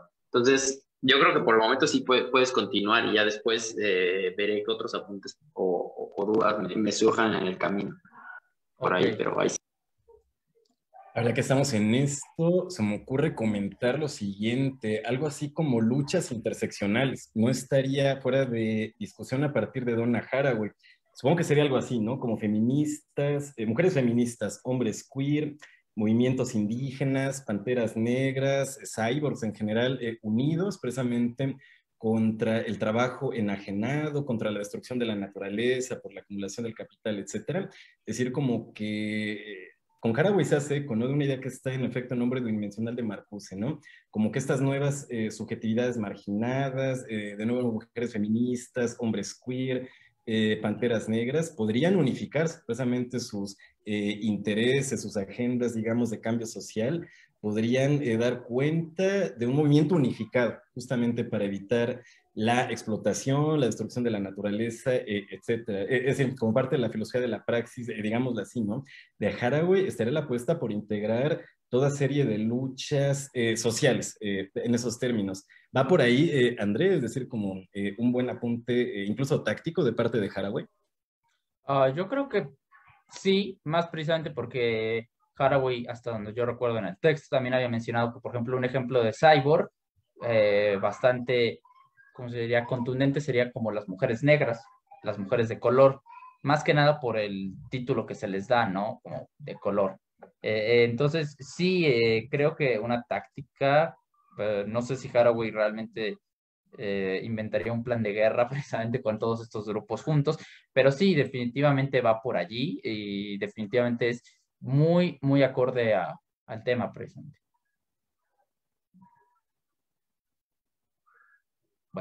Ah, a ver, voy a ver si tenemos todo bien.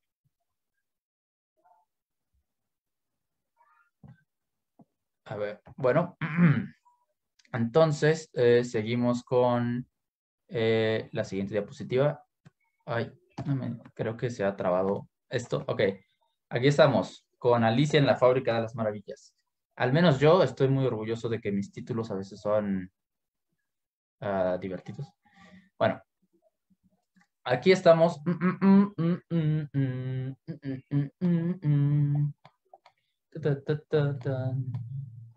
me moví de página, si me disculpan, tres segunditos nada más. Mientras tanto, les comento más o menos de qué va este título de Alicia en el País de las Maravillas. Con esto vamos a tratar precisamente un poco sobre lo que Alberto hablaba, sobre el trabajo el cuerpo y el, trabajo, la división de estos cuerpos y cómo funcionan para el capitalismo heteronormado. Y vamos a decirle nada más capitalismo, porque ya llamarlo heteronormado y blanco va siendo redundante, ¿no? Ya que al final de cuentas son casi, son intrínsecos al capitalismo, ¿no? Ahora, hablaba, para comenzar aquí tenemos que entender uh, eh, las aportaciones que nos, de las que nos habla Haraway sobre Cat King. Este, una autora que pues ha puesto muchos énfasis en los límites de identificación y en los mecanismos políticos o poéticos, eh, políticos poéticos en barra, de identificación construidas. Precisamente, King critica la persistente tendencia a taxonomizar los movimientos, ella habla precisamente del movimiento feminista, pero se puede uh, teorizar en cualquier tipo de movimiento o concepción de autoentendimiento sobre el ser. Cualquier parte, eh, King criticaría precisamente la tendencia a taxonomizar, perdonen, se me traba la lengua. King criticaría la persistente tendencia a taxonomizar cualquier parte de un movimiento, ya sea político o mental, o cualquier precisamente movimiento de auto eh, reconocimiento, cualquier parte precisamente de estos tipos de movimientos, como si fueran el todo. Es como cuando dicen que, pues, uh, es básicamente la hipocresía de la crítica, como tu tío que te dice que eres comunista, pero estás escribiendo desde un iPhone. Algo así, precisamente, es la crítica, la taxomina, la taxo, taxonomizas la propiedad de esta persona este, para criticar precisamente el telos del todo de lo que sería el comunismo, ¿no? Es como, pues es que el comunismo no se habla sobre no tener propiedades, pero adelante, taxonomiza el hecho de que tengo propiedades como eh, la el desbarate precisamente de todo el argumento eh, comunista. También precisamente sería como taxonomizar cuando dicen este, que una persona es radical o demasiado tibia, o una persona tiene que ser de izquierda o es de derecha, una persona tiene que ser este, totalmente deconstruida o automáticamente ya es eh, muy funable, ¿no? Esto sería lo que critica King precisamente, el hecho de que cualquier cosa que entra en el movimiento, y podríamos ponerlo desde las teorías aquí que entenderíamos, por ejemplo, ¿qué, qué, qué teoría sea o movimiento sea pues al menos yo desde mi trabajo precisamente en eh, humanidades, en la literatura, eh, existe eh, la poética, la neopoética, la no poética, el, todos los sismos que ustedes conocerán si alguna vez han leído un poquito sobre el siglo XX y toda la literatura, precisamente el, el cubismo, el naturalismo, el, ¿cómo se diría? ¿Cómo se llamaba este? el, pues sí, naturalismo, cubismo, este expresionismo, este futurismo, este, y todos los sismos precisamente que se conocen en la literatura, King criticaría el hecho de que todos estos normalmente eran reconocidos en el canon como un ismo literario, precisamente, como todo literatura, la neopoética poética, la necropoética poética. Este, esto es lo que criticaría King y esto nos ayuda mucho precisamente para entender cómo entendemos nosotros también nuestro propio cuerpo y nuestro propio conocimiento. King, el logro de King precisamente nos dice este Haraway, es haber aprendido cómo fabricar una unidad político-poética sin basarse en una lógica de apropiación o de incorporación, ni tampoco de identificación taxonómica.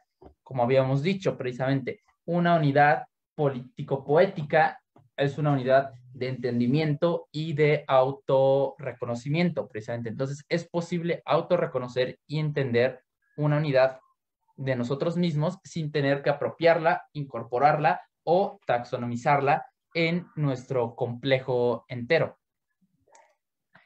Precisamente nos dice Haraway que estas luchas teóricas y prácticas contra lo que ella dice que es la unidad a través de la dominación, o contra la, unidad a través de la incorporación, no solo socavan precisamente todas las justificaciones en favor del el patriarcado, el colonialismo, el humanismo o el positivismo y eh, todos los demás ismos, ¿no? Sino que también socavan las exigencias de una posición orgánica o natural. Este es lo que les había dicho desde el inicio, que criticaba Haraway del posmodernismo, toda esta tendencia a taxonomizar todo a través de para qué funciona. Entonces, esta, esta aportación de King es muy importante para llegar a entender que para autorreconocer y para eh, incorporar el entendimiento y el conocimiento no es necesario que se taxonomice como parte del todo. Eh, y allí, pues, ahora sí eh, se mienta la madre un poco a la biología precisamente. Lo que habíamos dicho precisamente también desde el inicio en la construcción de lo que es nuestro cuerpo, y para allá vamos para el trabajo precisamente en Alicia en la Fábrica de las Maravillas, es que nosotros mismos somos conscientes de lo que significa tener un cuerpo históricamente constituido. Eh, ¿A qué se refiere con un cuerpo históricamente constituido? Significa que trae consecuencias desde antes de nacer, tal y como lo habíamos dicho.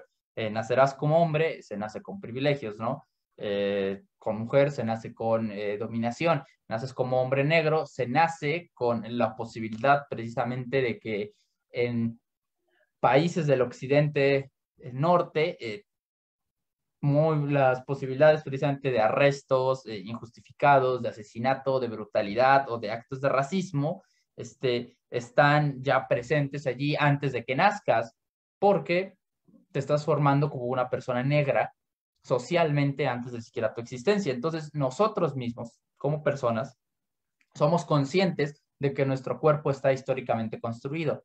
El nacer con nuestro cuerpo históricamente significa que históricamente nuestro cuerpo ya está presentado presente en una sociedad que lo entiende de una forma.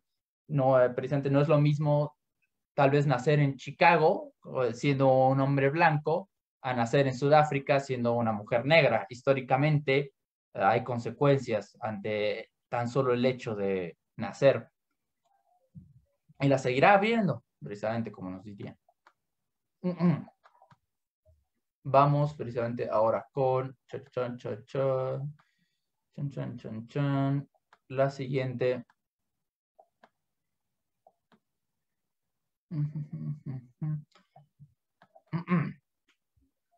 Ahora, sobre esto que había dicho sobre el cuerpo históricamente constituido, este, nos dice Haraway que eh, este cuerpo históricamente constituido nos acarreará precisamente consecuencias, ya sea de trabajo, de labor y de relaciones sociales.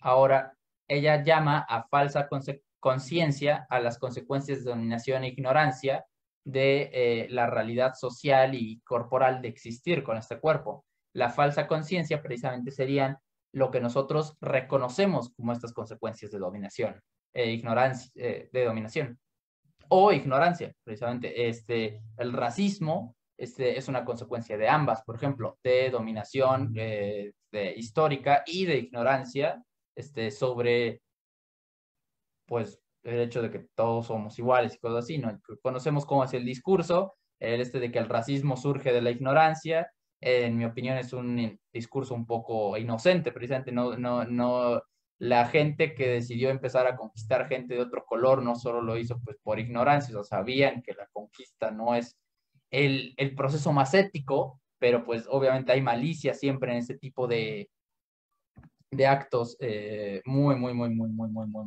muy, ¿cómo se llama? De actos históricamente cuestionables, ¿no? Entonces, una consecuencia, una falsa conciencia de la ignorancia, ahora sí podría ser lo que se le critica como la misoginia internalizada, ¿no? Eh, no toda la gente es malvada o quiere ver oprimidos precisamente en los cuerpos femeninos, pero existe esta conciencia histórica que te formula a tener este tipo de malicias precisamente contra los cuerpos que son distintos a los tuyos, a los cuerpos menos privilegiados. Entonces, Haraway nos dice que de estos cuerpos constituidos históricamente nacen las falsas conciencias, que son las percepciones de cómo vivimos nuestra vida a partir de haber tenido este cuerpo con el que nos fuimos traídos a este mundo. Vamos precisamente con esto del trabajo. Precisamente es lo que Alberto quería saber. Nace de la falsa conciencia. Eh, los trabajos para hombres, exclusivos para hombres, precisamente, que podrían ser desde los más privilegiados, como eran antes la medicina, la abogacía, la presidencia, hasta los más deplorables, precisamente como el trabajo en las minas, ah, la esclavitud, porque la mayoría de esclavos eh, actualmente hoy en día, si no me equivoco, son hombres, este, Mm, hasta hay gente que dice que ser prisionero es básicamente un trabajo, por cómo el sistema carcelario está constituido para mano de obra gratis. la mayoría de los, de los encerrados, de la gente con condenas son hombres, precisamente. Entonces, esta sería la falsa conciencia que Haraway pelea con el desconocimiento de la naturaleza como recurso de la cultura. Es lo que Alberto precisamente preguntaba. Eh, sí, lo que usted, eh, eh, esto que leo en el comentario de que Haraway señala interesantemente que tener ahora mujeres abogadas, mujeres cirujanas, etcétera, no cambia el problema esencial del capitalismo y el patriarcado. No, no precisamente no. También por el, muchos hechos, es otro argumento, pero no es precisamente de Haraway, que nada más me acordé, pausa el tema de Haraway, nada más para acordarme de, es, de acuerdo con ese comentario, de que este, muchas veces no entendemos por qué se celebra que este, personas oprimidas entren a espacios que fueron configurados para ser opresores, ¿no? Como un empresario afroamericano, afrodescendiente o una mujer policía, ¿no? Son espacios que fueron hechos para ser opresores, la policía y eh, los ricos, ¿no? Entonces es como, oh, ¿en qué punto se celebra que personas así, eh, oprimidas, entren a un espacio de opresores? Solo me acordé de eso por el comentario. Sí, no cambia el problema esencial del capitalismo o del patriarcado o de la dominación racial, este tipo de eh, avances como se le presentan a veces en esta sociedad. Bueno, sobre Alicia en, la fábrica de las maravillas.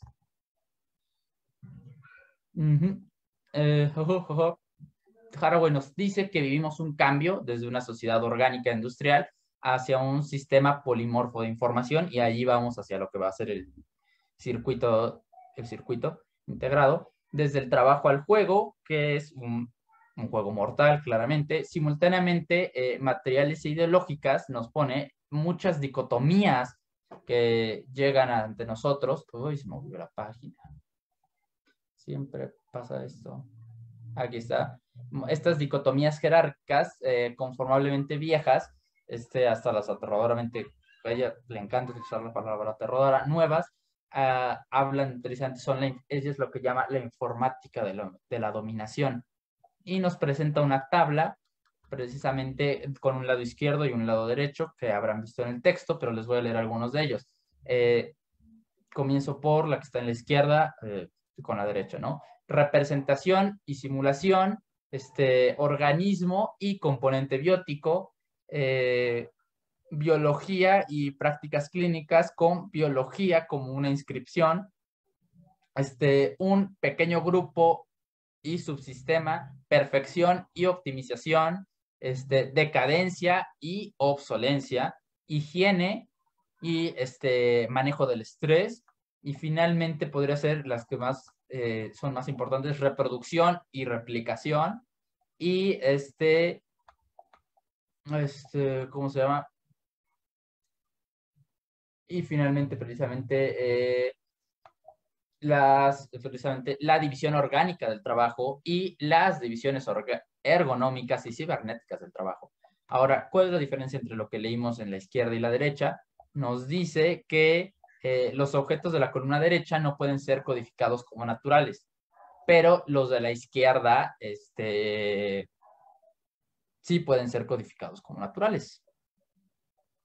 Ahora, precisamente, ¿cuál es la... A, qué se refiere con esto? No se refiere a que sean naturales. Les voy a leer precisamente otra vez los ejemplos para que entiendan a qué se refiere. Como por ejemplo, en la derecha tenemos este, inteligencia artificial y en la izquierda tenemos mente. No significa que la mente sea natural y la inteligencia artificial no. Significa que solo una de ellas puede ser codificada en nuestra sociedad como natural que sería mente, mientras que inteligencia artificial, por su mismo nombre, la gente no la codificaría como algo natural.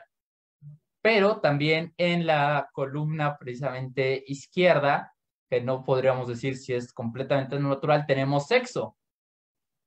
Y en la siguiente, que es derecha, que precisamente sería la no natural, este, genética, ingeniería de la genética. Entonces es como, es el sexo está codificado como natural, pero está codificado como natural, este, como, ¿cómo se llamaría? Está codificado como natural para la biología, que como ya quedamos de acuerdo, según Haraway, la biología sirve a los poderes. Y como nos dijo Foucault en las mallas del poder, el sexo es una de las formas y de las herramientas más divertidas de opresión. Entonces, en la columna izquierda tenemos muchos, muchos conceptos que se les ha otorgado concepciones naturales e irrefutables cuando en realidad no lo son. Por ejemplo, en otra parte de la columna izquierda tenemos público y privado. Lo público y lo privado tampoco es como que existan, pero se les ha otorgado un papel tan natural y tan dentro de nuestra sociedad que es básicamente casi incuestionable hasta claramente solamente por los grandes, grandes teóricos, ahora sí como diría la política por gente revoltosa.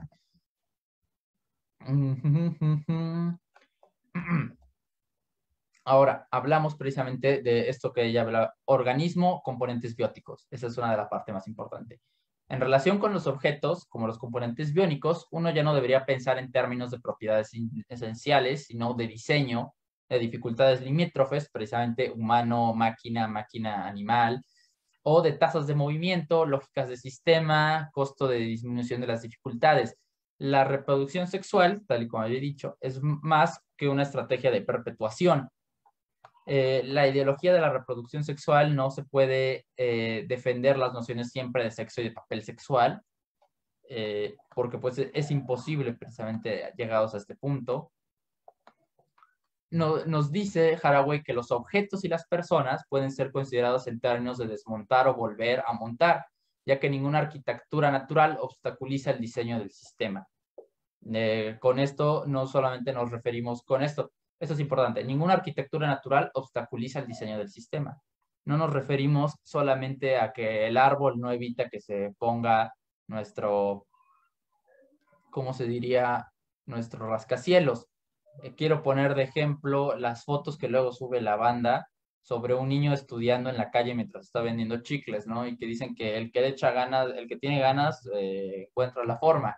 Es otra forma de decir precisamente que ninguna arquitectura natural este, como lo que se concibe como natural, como pobreza, discapacidades mentales o discapacidades físicas, van a obstaculizar un sistema diseñado para la explotación.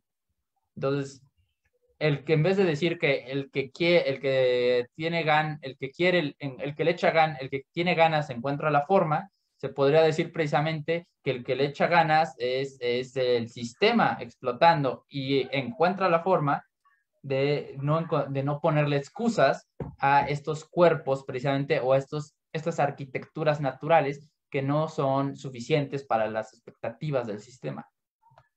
Más o menos como a eso se refiere y es precisamente eh, muy, muy, muy acorde a lo que Alberto había hablado precisamente sobre el cuerpo y el trabajo, la explotación. Nos pone que las dicotomías entre la mente y el cuerpo eh, lo animal y lo humano, el organismo y la máquina, las fronteras limítrofes de las que ya habíamos hablado, este, están puestas ideológicamente siempre en, en entredicho. El propio cuerpo puede ser dispersado y conectado de manera polimorfa y casi infinita eh, dentro de nuestro sistema y dentro de nuestro conocimiento. Es como esta teoría que dice que si te puedes imaginar una forma de tortura, probablemente alguien en la historia de la humanidad ya la hizo. Eh, algo así parecido, precisamente. Nuestro cuerpo puede ser conectado de maneras casi infinitas dentro de este circuito. Nos pone que las tecnologías y los discursos científicos pueden ser parcialmente comprendidos como formalizaciones, como momentos congelados en las fluidas interacciones sociales que la constituyen, pero debería asimismo ser visto como instrumentos para poner significados en vigor. Eh, la frontera entre mito y herramienta este, entre instrumento y concepto, eh, incluyendo los objetos del conocimiento, siempre va a ser permeable, precisamente, oblicua, como habíamos dicho. Más aún, este mito y herramienta dice que se constituyen mutuamente. El mundo, precisamente, eh, está traducido eh, en problemas de codificación genética, precisamente, y de lectura, tal y como habíamos hablado sobre lo del posmodernismo, eh, la textualización y el entendimiento de cómo es el organismo, más una herramienta para conocer que una entidad en sí, más que una existencia. Desde este punto, nos dice que, ah, ¿cómo se llama? La fabricación de nuestras imaginaciones y los sistemas del control del trabajo este, dependen íntimamente de la electrónica y de cómo entendemos nosotros precisamente la gestión de la tecnología. Vamos a, a seguir para acá para llegar precisamente al final de Alicia en la Fábrica de las Maravillas. Ella nos dice que si entonces fuera correcto, no sería incorrecto pensar eh, una esfera de dominio este, biológico y al mismo tiempo tecnológico, en el que el propio ser humano sume eh, a los cuerpos biológicos en grandes masas de, ¿cómo se diría?, ah, de creación tecnológica. Entonces es lo que dice eh, Haraway, que uno podría casi imaginarse Alicia en una fábrica eh, construyendo chips en vez de tomando el té con el sombrero loco, precisamente. Y es, tiene que ver mucho con el cuerpo y la acoplación de este cuerpo a lo que es el trabajo. Entonces, con esto se termina este apartado y por fin vamos a entrar eh, a el circuito integrado. Hoy siempre se traba cada vez que quiero mover la diapositiva. Y André, de hecho, eso te iba a comentar. Ok, sí, ya, eh, ahí se ve la siguiente diapositiva. Va bien. Sí, bien. Aquí puse una imagen muy bonita de un conejo mecánico, como podremos ver. Ahora, el circuito integrado, finalmente. Como les había dicho, el circuito integrado estaba definido por el universo, el cuerpo y el universo. Mm, eh, que vuelva a ver si no podemos volver a la última, a estas. Ajá, universo, mundo y organismos, precisamente. Universo, mundo y organismos. Ahora, ¿cómo entrar? Precisamente llegamos a esta parte. ¿Cómo entrar al circuito integrado? Bueno, para entrar al universo tenemos que estar en el mundo y para entrar al mundo tenemos que estar en el organismo. Y aquí vamos, es la parte precisamente como más esperada. Haraway nos pone que el organismo no existe, precisamente es y no, no lo hemos asimilado y si alguna vez existió, desapareció antes de que pudiéramos asimilarlo. Dice que son más instrumentos para el proceso de la información. Ahora, este proceso de la información deviene en la construcción de lo que es la realidad corporal, que hemos estado viendo a través de toda la presentación. Al estresarse este procesamiento, uno no puede definir qué es el uno del otro. Esta es, ahí es donde entra el cyborg y lo veremos más adelante precisamente. Pero allí ya tenemos el punto del organismo. El organismo solamente puede precisamente ser un instrumento para el proceso de toda la información. Y este proceso deviene, de la, en la construcción de nuestra realidad corporal, lo cual ya va a crear eh, nuestro mundo. Ahora vamos precisamente con el mundo para entrar al circuito integrado. El mundo lo encontramos como un espacio subdividido por fronteras que están permeables a la información. Ahora, como recordamos, organismo, eh, que es lo que sirve para encontrar la información, significa que nuestro mundo es permeable por esta información. No sé si por ahí vas, más o menos vamos, a vamos entendiendo precisamente. Eh, a ver, déjenme mover de página precisamente. Ajá.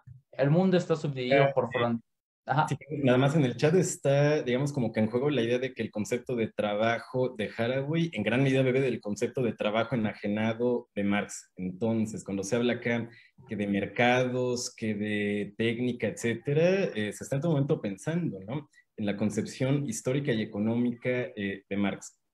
Es decir, acá hay que tomar en cuenta, ¿no? Plusvalía, trabajo enajenado, etcétera obviamente eh, con la contribución sustantiva de Haraway, ¿no? Del enfoque de género, o sumar a la opresión económica, eh, opresiones libidinales, sexuales, eróticas, eh, etcétera.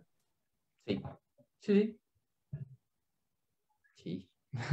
este, ¿qué iba a decir? Ah, bueno, ¿dónde me había quedado? Ah, en el mundo. El mundo está subdividido por fronteras diferentemente permeables a la información, precisamente que esta información llega a través del organismo Esta precisamente es una especie de elemento cuantificable, lo que se le llamaría como unidad o base de humanidad.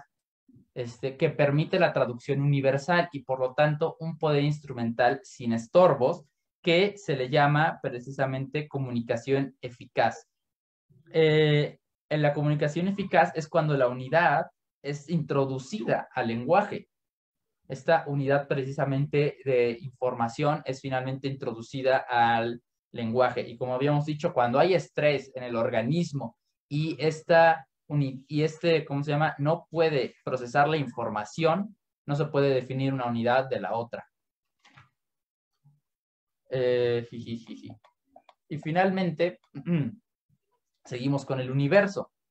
Ya tenemos al cuerpo, ya tenemos al mundo, precisamente, seguimos con el universo. El universo es un, son es un universo, es un lugar con objetos que pueden ser conocidos científicamente y está formulado de dos formas, precisamente, a través de la comunicación o a través del entendimiento como si fuera un texto, que era la teoría del posmodernismo, precisamente, que habíamos estado criticando. Es lo que habíamos dicho precisamente. Las... Entonces, algo así es como habíamos entendido, como entenderíamos precisamente el, uh, el circuito integrado, precisamente, utilizado por un universo que es precisamente está lleno de objetos que pueden ser conocidos científicamente. Este universo precisamente está conformado del mundo, que está subdividido por fronteras permeables a la información y que solamente puede, en, ¿cómo se llama?, enfocar esta información cuando un elemento cuantificable, que es la unidad, logra una comunicación eficaz. Y esta comunicación eficaz solamente se logra cuando, un, cuando la unidad puede entrar al lenguaje. ¿Cómo puede entrar esta unidad al lenguaje? Gracias al organismo, precisamente, al procesamiento de esta información. Y esta información es la que construye la realidad corporal. Según Haraway, estamos adentro de ella. Ahora, sí y solo sí podemos entrar como nuestro, como un cuerpo, precisamente, este, es el punto, precisamente, cómo entrar, nosotros somos cuerpos, eso no se niega. Haraway nos pone que el cuerpo no existe por sí solo, son conectados al circuito integral, sí y solo sí se puede construir un código que pueda ser procesado por el lenguaje común. Ahora, ¿cómo es procesado este código por el lenguaje común? Como ya lo habíamos visto, ¿no? Este, a través del organismo y este, este código se convierte en una unidad que es estructurada finalmente en, eh, introducida en el lenguaje. Cuando no estás en el circuito integrado y tu cuerpo no puede precisamente ser construido a través de un código, es ahora sí cuando ya, ya valió queso. Cuando, cuando llega la opresión, cuando llega este, el racismo, cuando llega el patriarcado, precisamente, eh, no es que no estés dentro del, ¿cómo se llama?, circuito integrado, es que no estás asimilado como parte de un circuito integrado que funciona eh, a la manera que Haraway lo quiere ver, precisamente. Entonces, este es el circuito integrado del que Haraway habla, en el que todos estamos presos, siempre asimilados, no siempre asimilados de la misma forma y solamente asimilados a través de un código procesado en el lenguaje común. Este mismo código precisamente eh, dado por la comunicación eficaz y a través de los organismos, que precisamente Alberto me dijo que si Haraway creía que el organismo existía o no y se les hiciera saber, hasta mi entendimiento, creo que Haraway dice que chole con el organismo, precisamente que si en algún momento llegó a existir, dejó de existir antes de que pudiera ser asimilado por nosotros, y ahora, si existe, pues todavía no lo hemos asimilado y es muy probable que deje de existir antes de que lo asimilemos, de nuevo bajo la teoría de que precisamente la biología sirva al poder y el poder sería este circuito integrado. Eh, ¿Qué es el conocimiento? Pues como dice precisamente Haraway, el conocimiento termina siendo nada más que informaciones permeables dentro de este circuito y solamente identificables bajo el lenguaje común. Y precisamente lo que medimos, es el tercer punto, es cómo entramos nosotros dentro de este circuito. Podemos ser codificables, entendidos en el lenguaje común, o nos quedamos precisamente como un, como un cuerpo que no existe por sí mismo, que solamente son, está, ¿cómo se diría?, a medio conectado, en una conexión precisamente, pero no en un entendimiento integrado. ¿Alguna duda con esta, que es la parte como más fuerte del circuito? la parte más fuerte de la exposición. Ahí eh, rápido puse un apunte, André, sobre psicopatología. No sé si lo vas a retomar en algún momento, eh, cómo se toma con Haraway que el poder psiquiátrico o la crítica que hace eh, Foucault, precisamente esta relación saber-poder. Ver, creo que Haraway se interfiere en enfermos mentales, se infiere como depresivos, ansiosos, autistas, son incapaces de comunicación efectiva o tienen déficits incurables con ello. sí, sí, sí es muy precisamente muy acertado eso y por lo tanto requieren asistencia, incluso de por vida, saber, saber conocimiento al servicio del poder en efecto. Sí, eh, es verdad, precisamente, y sí entra mucho eh, la política de Foucault, precisamente en que el Estado mida al menos los cuerpos, en qué tanto puede explotarlos, y aquellos que no son explotables, eh, para no verse tan grosero, precisamente se les presta el servicio. Mm no es tan precisamente complicado el cómo entrar al circuito integrado, lo complicado es cómo te va a asimilar el, circuito precisamente. Eh, cómo entrar, que es el conocimiento y lo que medimos. Lo que medimos es el punto exacto precisamente que para Haraway sería el que explique permanentemente nuestro lugar ahora sí en, este mundo. Si me lo preguntaran a mí, de cuál es lo más importante en el circuito integrado, si unidad, este, si universo, perdón, mundo o organismo, o el cuerpo, precisamente yo diría que precisamente es el cuerpo, ya que mientras todos los demás están unidos entre cada uno de ellos, el cuerpo es el único que es dependiente de eh, poder ser asimilado, precisamente. Y si no es asimilado, entonces simplemente es rechazado. Ahora, esto no significa que no podamos ver a la gente discapacitada o eso, que sean invisibles para nosotros o para el circuito integrado. Bueno, para el circuito integrado sí. Ahora, para nosotros, bajo las clases de moralidad y todo esto, el circuito obviamente tiene maneras de hacer parecer que están asimilados en ello, pero eh, realmente eh, yo creo que Haraway debatiría en cuanto si los cuerpos, eh, ¿cómo se dice?, disidentes están integrados, en el, están en el circuito integrado precisamente bajo el hecho de que hasta hace relativamente poco tiempo, pues los enfermos mentales también no solamente eran catalogados como o peligrosos, hoy en día aún siguen siendo catalogados como peligrosos, ¿no?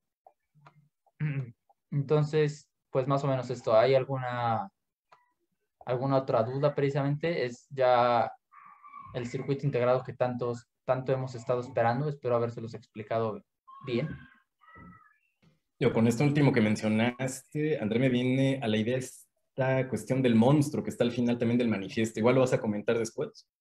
Sí. Sí, esta quimera, este monstruo, sí. Sí.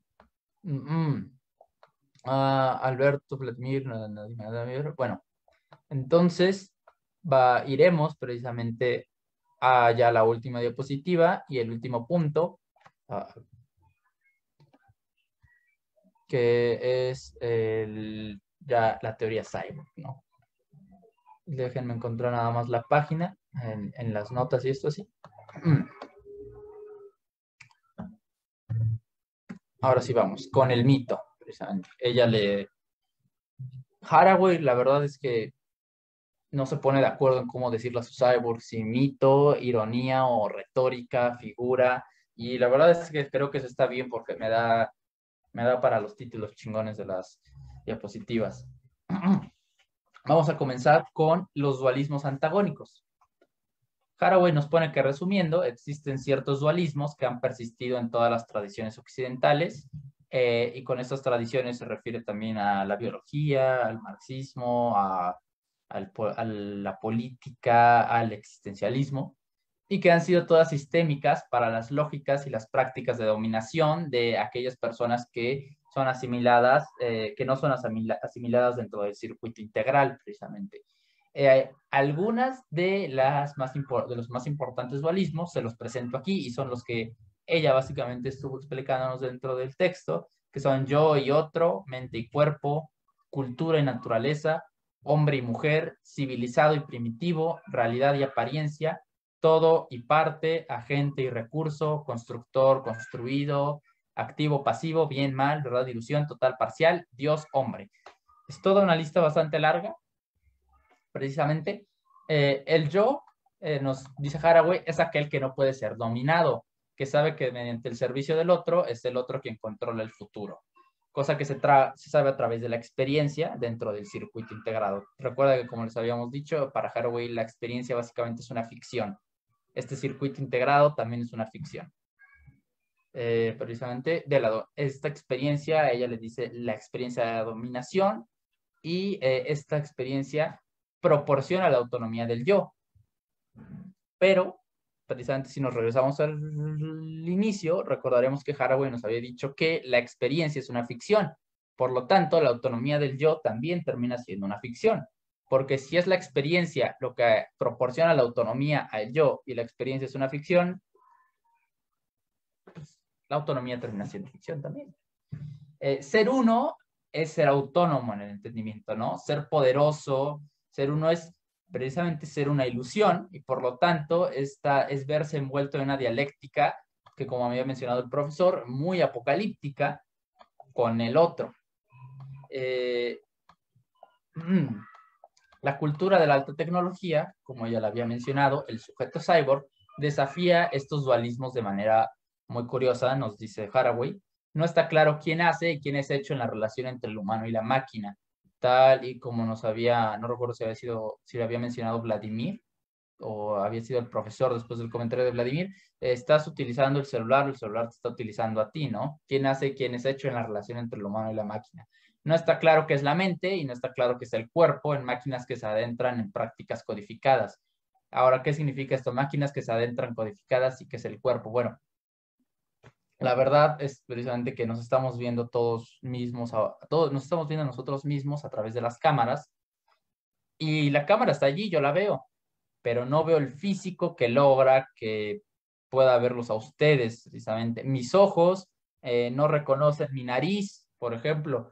Eh, si vamos a tomar al cuerpo como una máquina, no podemos ver precisamente cuál es el cuerpo que tiene la práctica codificada de la respiración yo si no estuviera enfrente de una cámara no podría ver mi nariz.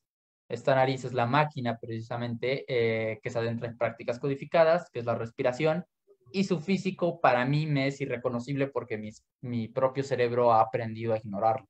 Pero allí está, aquí está. Es, dice que en tanto que nos conocemos a nosotros mismos en el discurso formal y en la vida diaria, encontramos que somos cyborgs, híbridos, mosaicos, quimeras, los organismos biológicos se han convertido en sistemas bióticos, precisamente en máquinas de comunicación como las otras. A esto volvemos con lo mismo del organismo. El organismo eh, biológico solamente es una máquina de comunicación como las otras, solamente sirve para comunicar, no está asimilado. Es lo que dice, en tanto que nos conocemos a nosotros en la vida diaria y en el discurso formal, no logramos asimilarnos como el organismo, sino que nos terminamos asimilando como cyborgs, como sistemas de comunicación. 9. Ay, no puede ser. Se cambió de página, perdonen. Y hola, ya está el mismo final.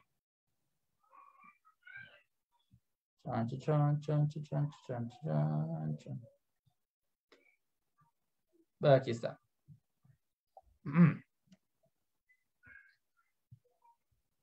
Ahora, dice que no existe una separación ontológica fundamental en nuestro conocimiento formal de máquina y organismo, o de lo que es técnico y de lo que es orgánico, tal y como habíamos dicho, hasta qué punto es imitación y hasta qué punto es una nueva forma de creación. Aquí vuelve a repasar la palabra ontología y recuerden que al principio les había dicho que ella había mencionado que ser cyborgs es básicamente nuestra, nuestra ontología, por lo tanto no existe una separación. Si ser cyborgs es nuestra ontología, entonces no puede haber una separación ontológica entre la máquina y el organismo. Nos pone que una consecuencia es que nuestro sentido de conexión con nuestras herramientas se haya realzado. Este, con el celular, con las computadoras, con las tecnologías de la información y no solamente con eso, sino la casa también termina siendo una herramienta. Entonces, la conexión con el hogar, la conexión con eh, la cuadra en la que vives, también termina siendo bastante cyborg. Precisamente es como, ¿por qué le agarras cariño a cuatro paredes y un techo? O por qué le agarras importancia social o le damos importancia social, este, mm, a este tipo de cosas. La ropa, como habíamos mencionado en la exposición de Vladimir, los lentes, todo eso son cyborgs, todas estas son herramientas precisamente en las que cada vez somos más afines, no más afines a que los queremos mucho, o sea, yo sé como por ejemplo que a mi hermano le gusta mucho abrazar sus suéteres y sus abrigos, está muy orgulloso de ellos, pero a eso no es a lo que me refiero. A lo que me refiero es que los entendemos más como parte de nuestro organismo y nuestra realidad corporal como les había dicho en el ejemplo de los lentes. Yo no sé si el profesor Huesca también abraza sus lentes, pero los entiende como parte de él, tal y como él nos había dicho, que su mundo se vuelve Heráclito si se quita los lentes. Yo también entiendo mis lentes como parte de mi biología. ¿Por qué? Porque nací con ojos que no son defectuosos, sino que serían como divergentes a lo que normalmente experimentamos nosotros. Los lentes son un requisito iban a existir sí o sí. Entonces, viene aquí precisamente la, el debate de quién hace y quién hizo. Nosotros hicimos a los lentes o los lentes nos hicieron a nosotros, porque sin los lentes yo no veo. Entonces, es los lentes los que me dan mi experiencia de vista, es eh, la herramienta auditiva la que le da la experiencia presente auditiva al sordo, o este, tan solo como calor y frío, ¿no? Mm, Alberto, mi, hermano precisamente, experimenta el calor y el frío como un ser humano real o lo experimenta al hecho de que siempre trae un suéter, una gabardina, una, este, una estructura, como él a veces les dice. O este ya es un sujeto cyborg, precisamente, cuya ropa es parte de su organicidad. intenta crear a alguien durante los siguientes 20 años para que aprenda a estar desnudo, eh, va, a ser, va a ser difícil no solamente por el hecho de que va a ser incómodo para la persona salir al súper, sino también de que pues el cuerpo ya, ya entiende este tipo de fibras que nos ponemos encima como parte de nuestra biología. Entonces, ¿quién hizo? ¿Nosotros a la ropa o la ropa a nosotros? Me, viene a la mente lo de, aunque el monje se vista, mono se vista de seda, mono se queda. O sea, una expresión muy, muy clasista para cuando querían juzgar a la gente por cómo se vestía o lo, a que aparentaba hacer otras cosas, pero para Haraway funciona, ¿no? Aunque el mono se vista de seda, mono se queda. Nos pone que para nosotros, las, en la imaginación, precisamente en la realidad social, pero también ya en la realidad corporal, las máquinas pueden ser artefactos prostéticos, componentes íntimos, partes amigables de todos nosotros, este, reemplazos de algo que supuestamente salió mal en la biología, como gente que nace sin piernas, gente que nace sin brazos o gente que nace ciega, cosas así. Ahora, mm, mm, mm. esto es básicamente, se han convertido en sistemas bióticos y en máquinas de comunicación Los cyborgs precisamente hacen muy problemáticos eh, los estatutos del hombre y de la mujer en tanto que humanos, artefactos y miembros de una raza o de una identidad individual con un cuerpo, este, terminan de terminan por destruir estos dualismos antagónicos, el yo y el otro, el mente y el cuerpo. Por ejemplo, es el otro es los lentes y yo soy yo o los lentes precisamente pertenecen a yo. Luego sigue el constructor y el construido, el lo civilizado y lo primitivo, ¿no? Antes se veía como... Yo recuerdo que podrían poner que se veía muy primitivo usar lentes, usar brackets cuando eran muy incómodos y grandes, hasta que de repente salió Harry Potter y todos querían tener lentes. Cosas así, la realidad y la apariencia, eh, el, todo y la parte de lo que nos hablaba King, precisamente de taxonomizar eh, las partes de nuestro conjunto, ya sea biológico o político, como algo que existe dentro del todo.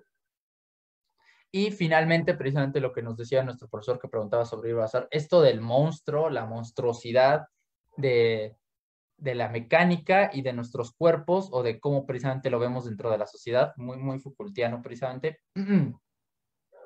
nos pone que no necesitamos un holismo orgánico que nos dé una totalidad impermeable, precisamente, ya que terminamos siendo mutantes es una, precisamente, ella termina con una lectura parcial de la lógica de los monstruos cyborg, precisamente, y dice que están todos incluidos en la ciencia ficción. Pero aquí nos juega un poco más con el lenguaje. si ella nos dijo que la experiencia es ficción,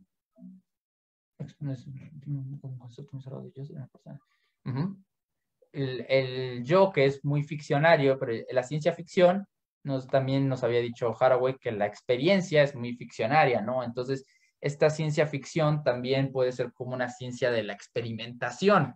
Nos experimentamos cyborgs y al mismo tiempo nos experimentamos como monstruos. Tal y como dice, no se necesita un holismo biológico.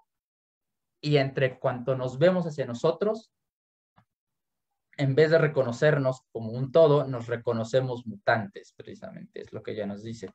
Finalmente nos dice que los monstruos, uy, dice que hay, uy, eh, ¿pueden ver todavía la presentación?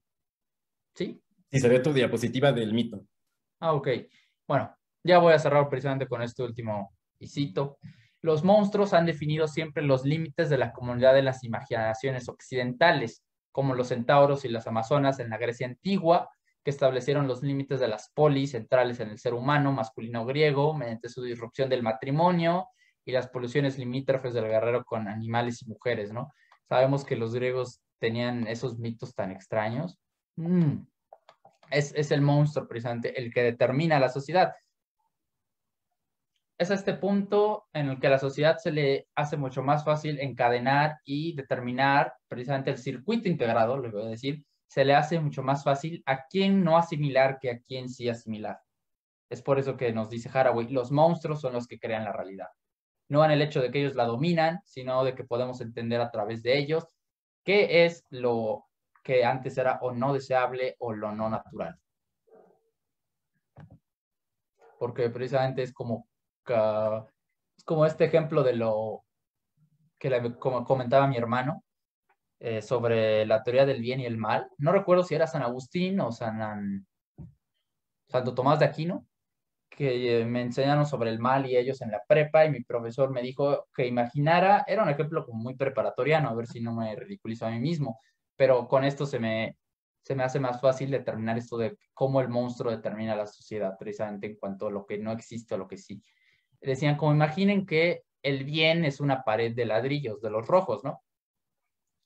Y el mal no es que exista, sino que es la ausencia del bien. Entonces, imaginemos el bien como sacar un ladrillo. Entonces, ahí hay ausencia de ladrillo, es ausencia de pared, ahí está el mal. Pero si quitas todos los ladrillos para hacer puro el mal en vez del bien, terminas destruyendo la pared. Así que dirías, terminas destruyendo el bien, pero como ya no hay pared, ya no puede haber ausencia de bien, entonces ya no puede haber mal. Algo así precisamente sería en lo que el cuerpo y lo monstruoso eh, determina también nuestra realidad. No puede haber cuerpos naturales, sino más bien ausencia, bueno, cuerpos normales, sino más bien ausencia de lo que se identifica como normal. Si no existiera el monstruo, entonces es imposible que haya ausencia de lo natural y es imposible que se catalogue algo como monstruoso. Más o menos parecido. Nos pone Haraway que los cuerpos son muchos mapas de poder e identidad y que los cyborgs no son una excepción. El cyborg no es inocente, ya que no nació en, el jardín de Edén y no busca una entidad identidad unitaria. Por lo tanto, genera dualismos antagónicos sin fin hasta que se acabe el mundo y dice que uno es poco y dos es solamente una posibilidad. La máquina no es una cosa que deba ser animada, trabajada o dominada, pues la máquina somos nosotros y nuestros procesos son un aspecto precisamente que encarnan esta máquina. Podemos ser responsables de máquinas, pero porque no, no nos dominan y no nos amenazan. Somos responsables de los límites de la maquinaria, ya que somos básicamente ellos la pregunta precisamente que nos dice es, ¿qué es lo que cuenta como experiencia en la actividad diaria? Lo que habíamos dicho desde el inicio, el cyborg desafía lo que es experiencia porque la experiencia no es más que una ficción. La, actividad diaria y la experiencia puede ser abordada mediante la explotación de la imagen del cyborg, precisamente, ya que no existe impulso en los cyborgs para producir una teoría total, pero sí una experiencia íntima de las fronteras de su construcción y de su construcción, lo mismo que nos decía Vladimir, precisamente esta experiencia de las fronteras, esta aceptación de que existen, este, nos dice que existe finalmente la imaginería cyborg puede ayudar a expresar los argumentos cruciales. Eh, primero, precisamente la producción de teorías universales y totalizadores es un grave error que, se, que sale probablemente siempre de la realidad. Es lo que, lo que habíamos dicho, precisamente la realidad social y la realidad corporal son muy distintas. Segundo, podemos aceptar responsabilidades de las relaciones entre ciencia y tecnología, que significa rechazar una metafísica anticientífica o una demonología de la tecnología en la que lo chico nos resulta más aterrador, como habíamos mencionado, y también podemos abrazar la difícil tarea de reconstruir los límites de la vida diaria para tener una experiencia que no sea ficcional, que esté en comunicación con todas nuestras partes, no solo con aquellas asimiladas en el circuito digital. Precisamente no se trata del sueño de un lenguaje común, sino de una poderosa heteroglasia, ya que significa al mismo tiempo construir y destruir máquinas, identidades, categorías, relaciones, historias del espacio. A pesar precisamente de que estas dos bailan juntos en el baile de espiral, ya nos pone Donna Haraway, ella prefiere ser un cyborg que una diosa. Y ya es todo. No sé si alguien se quedó atorado a la mitad del mito o ya o, lo entienden o están felices o les cayó mal Haraway.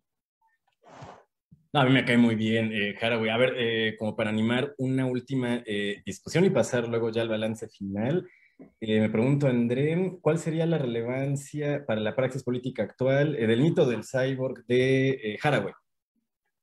A ver, ¿puede repetir porque no escuché bien?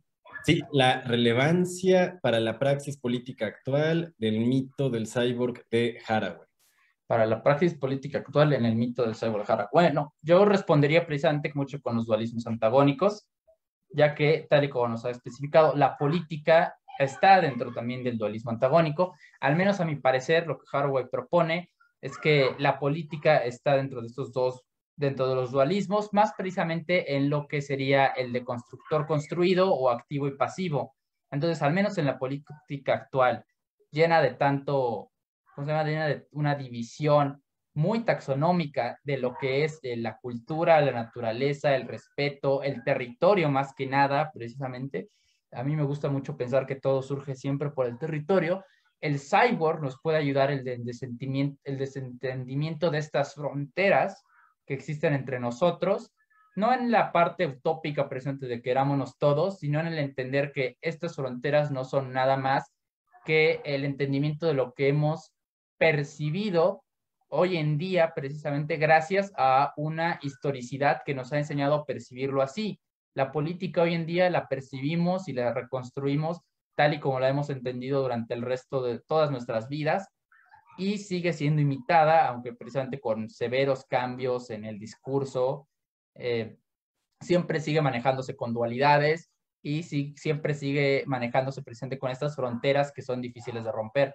Yo creo que la figura del cyborg ayuda mucho precisamente a desentender estas fronteras, eh, ya sea culturales, políticas, este, de norte y sur, eh, y puede ayudar precisamente mucho en la resolución de conflictos en entender que ni uno ni otro puede ser como, oh, está mal este, está mal el otro, sino precisamente que ah, en esta cultura de la tecnología, como la menciona ella, este, se desafían estas fronteras que entendemos y creo que no hay nada más que, que intensifique la política como fronteras entendidas en ya sea en lenguaje, en historicidad, en deudas históricas, como lo, lo han dicho precisamente. Si nos adentramos en las prácticas codificadas de la política desde una mirada cyborg, es posible encontrar cuáles son las fronteras que determinan, eh, ¿cómo se llama? Este, todos los conflictos actuales y irlos deconstruyendo, tal y como dijo Vladimir, aceptando la cualidad de sujetos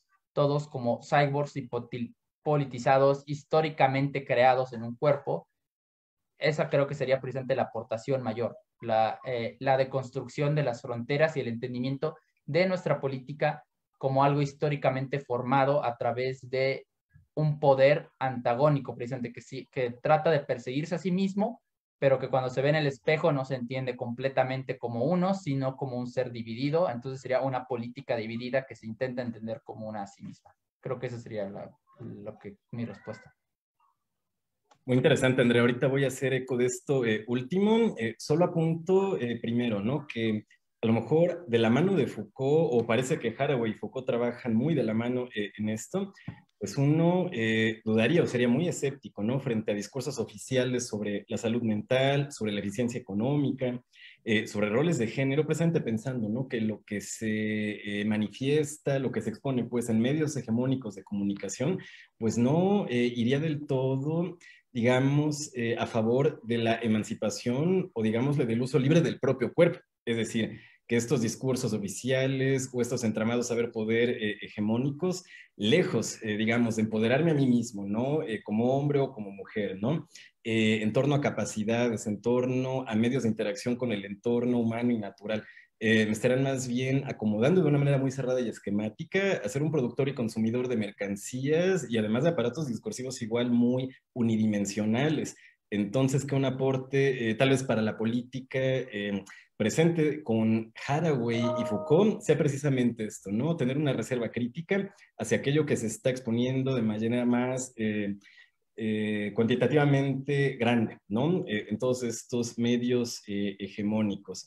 Lo otro, eh, no sé si está muy exagerado eh, elaborarlo así. Ahorita tú me dirás, André, como para animar esta última eh, discusión.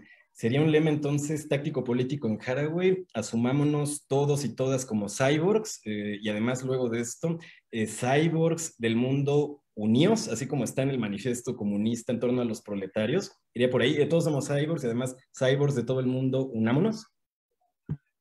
Ah, cyborgs de todo el mundo, unámonos, no lo entendería tal vez tan rápido.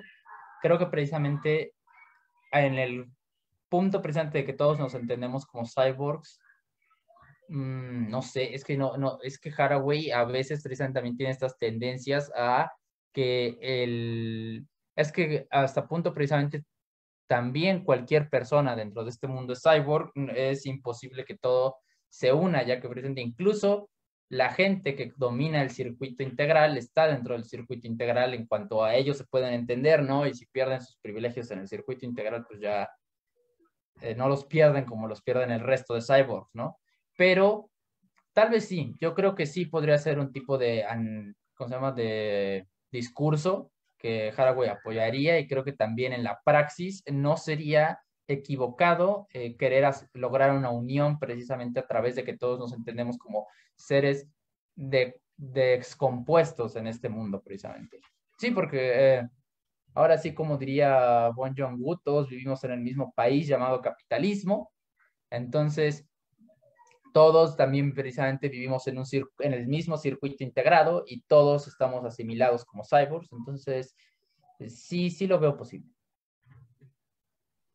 Muy bien, André, te sigo completamente. Solo agrego, de hecho, que me parece que la propia Haraway argumenta que no debería venir de fuera, pues, como que una agenda política para estos cyborgs, ¿no? Que van a entrar en alguna práctica eh, política común, sino como que desde dentro, pues, se debe construir, eh, digamos, eh, qué sé yo, la plataforma eh, de fines o los intereses en común, eh, tales como para evitar ¿no? algún exceso totalitario que se ha dado en la historia universal alrededor de procesos eh, socialistas. ¿no? A lo mejor ese es el aporte ¿no? que le dan a Haraway el posmodernismo, o para el caso de Foucault, como para contribuir a su lectura de Marx. Pues la última cuestión, André, está aquí con un comentario. a ver si quieres reaccionar él. Dice, el cyborg como una suspensión o epogé momentánea una apertura comprensiva. Órale, como una suspensión o empuje momentánea, una apertura comprensiva. Pues creo que es más o menos básicamente lo que nos había dicho también el Vladimir al inicio. Sí, sí veo al menos a la figura del cyborg, no a nosotros como cyborgs, como una suspensión momentánea para comprendernos a nosotros y los procesos pero a la figura retórica, precisamente. Ya como sujeto, eh, yo creo que es imposible que el sujeto cyborg sea momentáneo, ya que precisamente al ser postgenérico, eh, ya no se entendería algo momentáneo, pero como ficción, como un recurso para la crítica, ya sea ah, propia o del sistema político o del sistema capitalista, sí, se me ocurre eh, comentar algo así, como que con la mirada cyborg, así muy en general, eh, pues no se puede definir el mundo de una manera unilateral. De hecho, eh, me parece que esta figura del cyborg es bastante multifacética, plástica, dinámica, abierta, lo que se quiera. es decir, algo así como una ética cyborg no podría ser, digamos, discriminatoria, totalitaria, etcétera. Más bien sería una buena oportunidad como para procesos generales de emancipación social. Bueno, André, ¿alguna eh, idea, invitación que quieras dar al público para la lectura a Haraway? Y ya con esto cerramos. Mi invitación sería, en primera, leerla de corrido, porque yo creo que a veces es, es un poco, he conocido gente que en mis clases que leyó como las primeras tres o cuatro páginas y, el resto era muy difícil precisamente ya de entender una vez retomabas la lectura. Yo creo que es muy bonito leerla de manera completa. Y otra, precisamente, que pondría es que no se imaginen a un sujeto máquina humano cuando estén pensando en el cyborg, ¿no? O sea, cuando pensamos en el cyborg, yo creo que quiero instar en que vayamos más allá de la ficción y nos centremos en lo físicamente precisamente que conocemos como nosotros. Es necesario admitir que el cyborg ya existe, no lo veamos como algo utópico, como algo descarado. Esa sería mi recomendación. Y léanla mucho. Este, recomiendo precisamente todos los textos que estaban en el libro del texto complementario. Y también sobre ella y las metáforas de la biología también son muy buenas. Ese sería mi comentario para todos. Muy bien, gracias André por tu presentación. A ver, voy a cerrar ahorita aquí